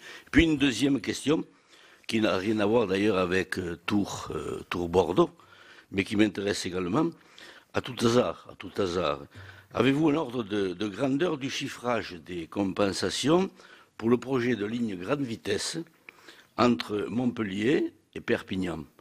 C'est le fameux chaînon manquant sur l'une des plus grandes lignes à grande vitesse qui relie l'Europe du Nord au sud de l'Espagne et qui passe par mon département. Et là, on a un chaînon manquant. Alors, est-ce que vous avez un ordre d'idée sur le, chiffrage de ces compensations? Merci, Roland. Monsieur Bailly. Oui, très court. Euh, parce que quand même, je crois que nos interlocuteurs ont eu quand même donné beaucoup de détails déjà dans tout ce qu'ils ont exposé. Je les en remercie. Un témoignage aussi, euh, notre département a été traversé il y a quelques années par la TGV Rhône. Ça s'est relativement bien passé, même bien passé, je peux en témoigner quand même. Je crois qu'au niveau des compensations, euh, cela s'est fait. On est allé dans, dans beaucoup de détails. J'étais à ce moment-là président du Conseil général. Je crois que ça s'était bien fait. Donc, c'est aussi un assentiment. Bon, toujours tous les dossiers, il peut y avoir aussi des choses à redire. Donc, la convention est normale. Mais je voudrais, si j'ai pris la parole, c'est après, une. C'est plutôt pour réagir à ce qui vient d'être dit. Par rapport, il n'y a pas de mauvaise herbe. M'excuse, cher rapporteur, paysan que je suis, quand il y a plein de chardons et qui s'envolent tout dans les champs d'à côté, eh bien, moi, je demande aux gens qui gardent les charbons sur leur terrain, à ce moment-là, qui viennent ramasser les chardons qui sèment dans nos champs de blé ou dans nos vaches pâtures, parce qu'elles n'aiment pas non plus les chardons. Mais alors, c'est pour ça que je n'admets pas qu'on dise qu'il n'y a pas de mauvaise herbe. C'est un témoignage que je voulais faire ici. Vieux sujet des, des plantes indésirables en fonction de l'endroit où elles sont. Bon, très bien. Est-ce que, voilà, plantes indésirables en, fonction de l'endroit où elles sont. Est-ce qu'il y a d'autres questions? Euh, Je n'en vois pas, donc je vais vous laisser la parole pour répondre à cette diversité de questions. Très bien. Sur, le. Oui, je, vais prendre deux questions. La première, c'est sur la, concession. Alors évidemment, il ne s'agit pas de parler du, bienfait ou du, du, mérite ou du démérite des concessions ici. Je pense que, mais néanmoins, par rapport à la biodiversité, une chose qui est importante, comme on le disait, en effet, il y a une instabilité assez forte entre les différentes régions, et ça, se relie à l'autre, qui est, euh, les demandes de compensation qui sont très variables d'une région à l'autre.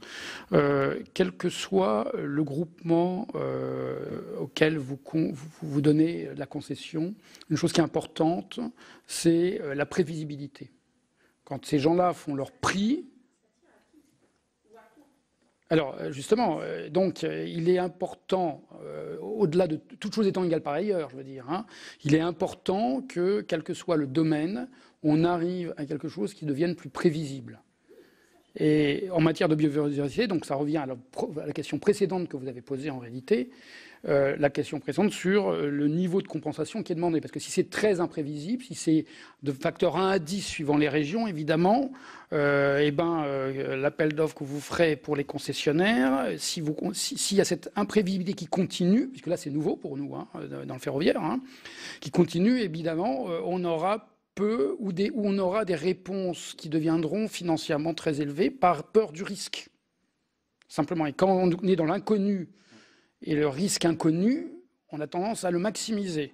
Donc voilà, c'est naturel. D'où l'importance de votre question précédente, Madame la sénatrice, qui était sur euh, pourquoi cette euh, entre interrégion. Alors, je ne suis pas le plus grand expert, je vais laisser mes experts en parler, mais moi j'ai tendance à croire qu'on revient sur le même sujet. D'abord, euh, la biodiversité est finalement une science jeune, relativement jeune. Et comme toute science relativement jeune, euh, c'est une science qui, euh, n'ayant pas tout à fait la maturité d'autres, euh, eh ben, les experts peuvent être très très très variables. Les expertises peuvent varier beaucoup d'une personne à une autre personne. Et je pense que ça vient beaucoup de ce sujet-là, de la variabilité des experts et de leur appréciation du problème. Alors je ne critique pas les experts en race, je pense que c'est dû au fait que les recherches, la connaissance, en tout cas son application, on va dire industrielle, enfin son application dans, le, dans la vie de tous les jours et dans la vie des projets, et, c'est ça la science neuve. Peut-être que la biodiversité par elle-même, la connaissance des espèces ne l'est pas, ça connaît depuis très longtemps, au 19e, 18e siècle, il y avait des, experts, mais, mais dans les conséquences que ça a dans notre aménagement du territoire, puisque c'est c'est le cas ici. Euh, là-dessus, euh, l'expertise transposée là, elle est jeune. Et là, euh, bah voilà. donc moi, préconisation, mais je ne suis pas un expert, je vais en laisser parler mes, mes, collaborateurs. J'aurais tendance à dire, en effet, une formation, une filière, tout ça irait dans le bon sens parce que peu à peu, on aurait quand même un certain consensus qui se dégagerait plus facilement et qui permettrait de le faire. Voilà. Ça veut dire que sur un même projet, indépendamment de la région dans laquelle il se trouve, deux experts peuvent avoir deux appréciations totalement différentes? Absolument. Absolument.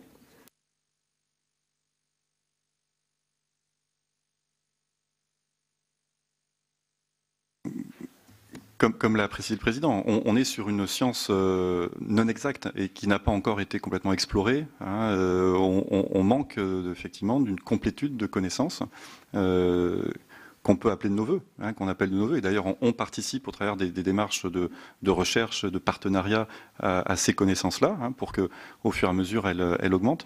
Mais, oui, hein, on a euh, entre écologues, euh, entre services de l'État euh, plus ou moins formés, sensibilisés sur les sujets, entre maîtres d'ouvrage, des appréciations qui peuvent être, qui peuvent être différentes, de fait, c'est sûr. Madame la sénatrice, je vais revenir sur le sujet de la, DUP, votre première, euh, votre première question. Euh, on, se l'est dit, je pense que vous l'avez déjà entendu, la clé de voûte du sujet de la compensation, c'est bien le foncier. Euh, D'autant plus que voilà, on arrive sur des, volumes euh, importants, qu'on est sur euh, généralement, enfin assez souvent, euh, des territoires où la pression foncière est importante, avec des partenaires agricoles qui vous ont parlé de la double peine que ces sujets-là leur infligent. Donc de fait, oui, le, sujet du, foncier est, majeur. on, n'appelle pas de nos voeux, on ne vous proposera pas de rendre dupables les mesures compensatoires. Ça nous semble un peu excessif euh, pour ceux qui pourraient euh, de fait en être euh, l'objet. En, revanche, effectivement, nous, souhaitons vraiment qu'on arrive à, entre autres, peut-être grâce au décret de la loi biodiversité, trouver des, outils qui permettent que ces mesures de compensation soient accessoires de l'infrastructure.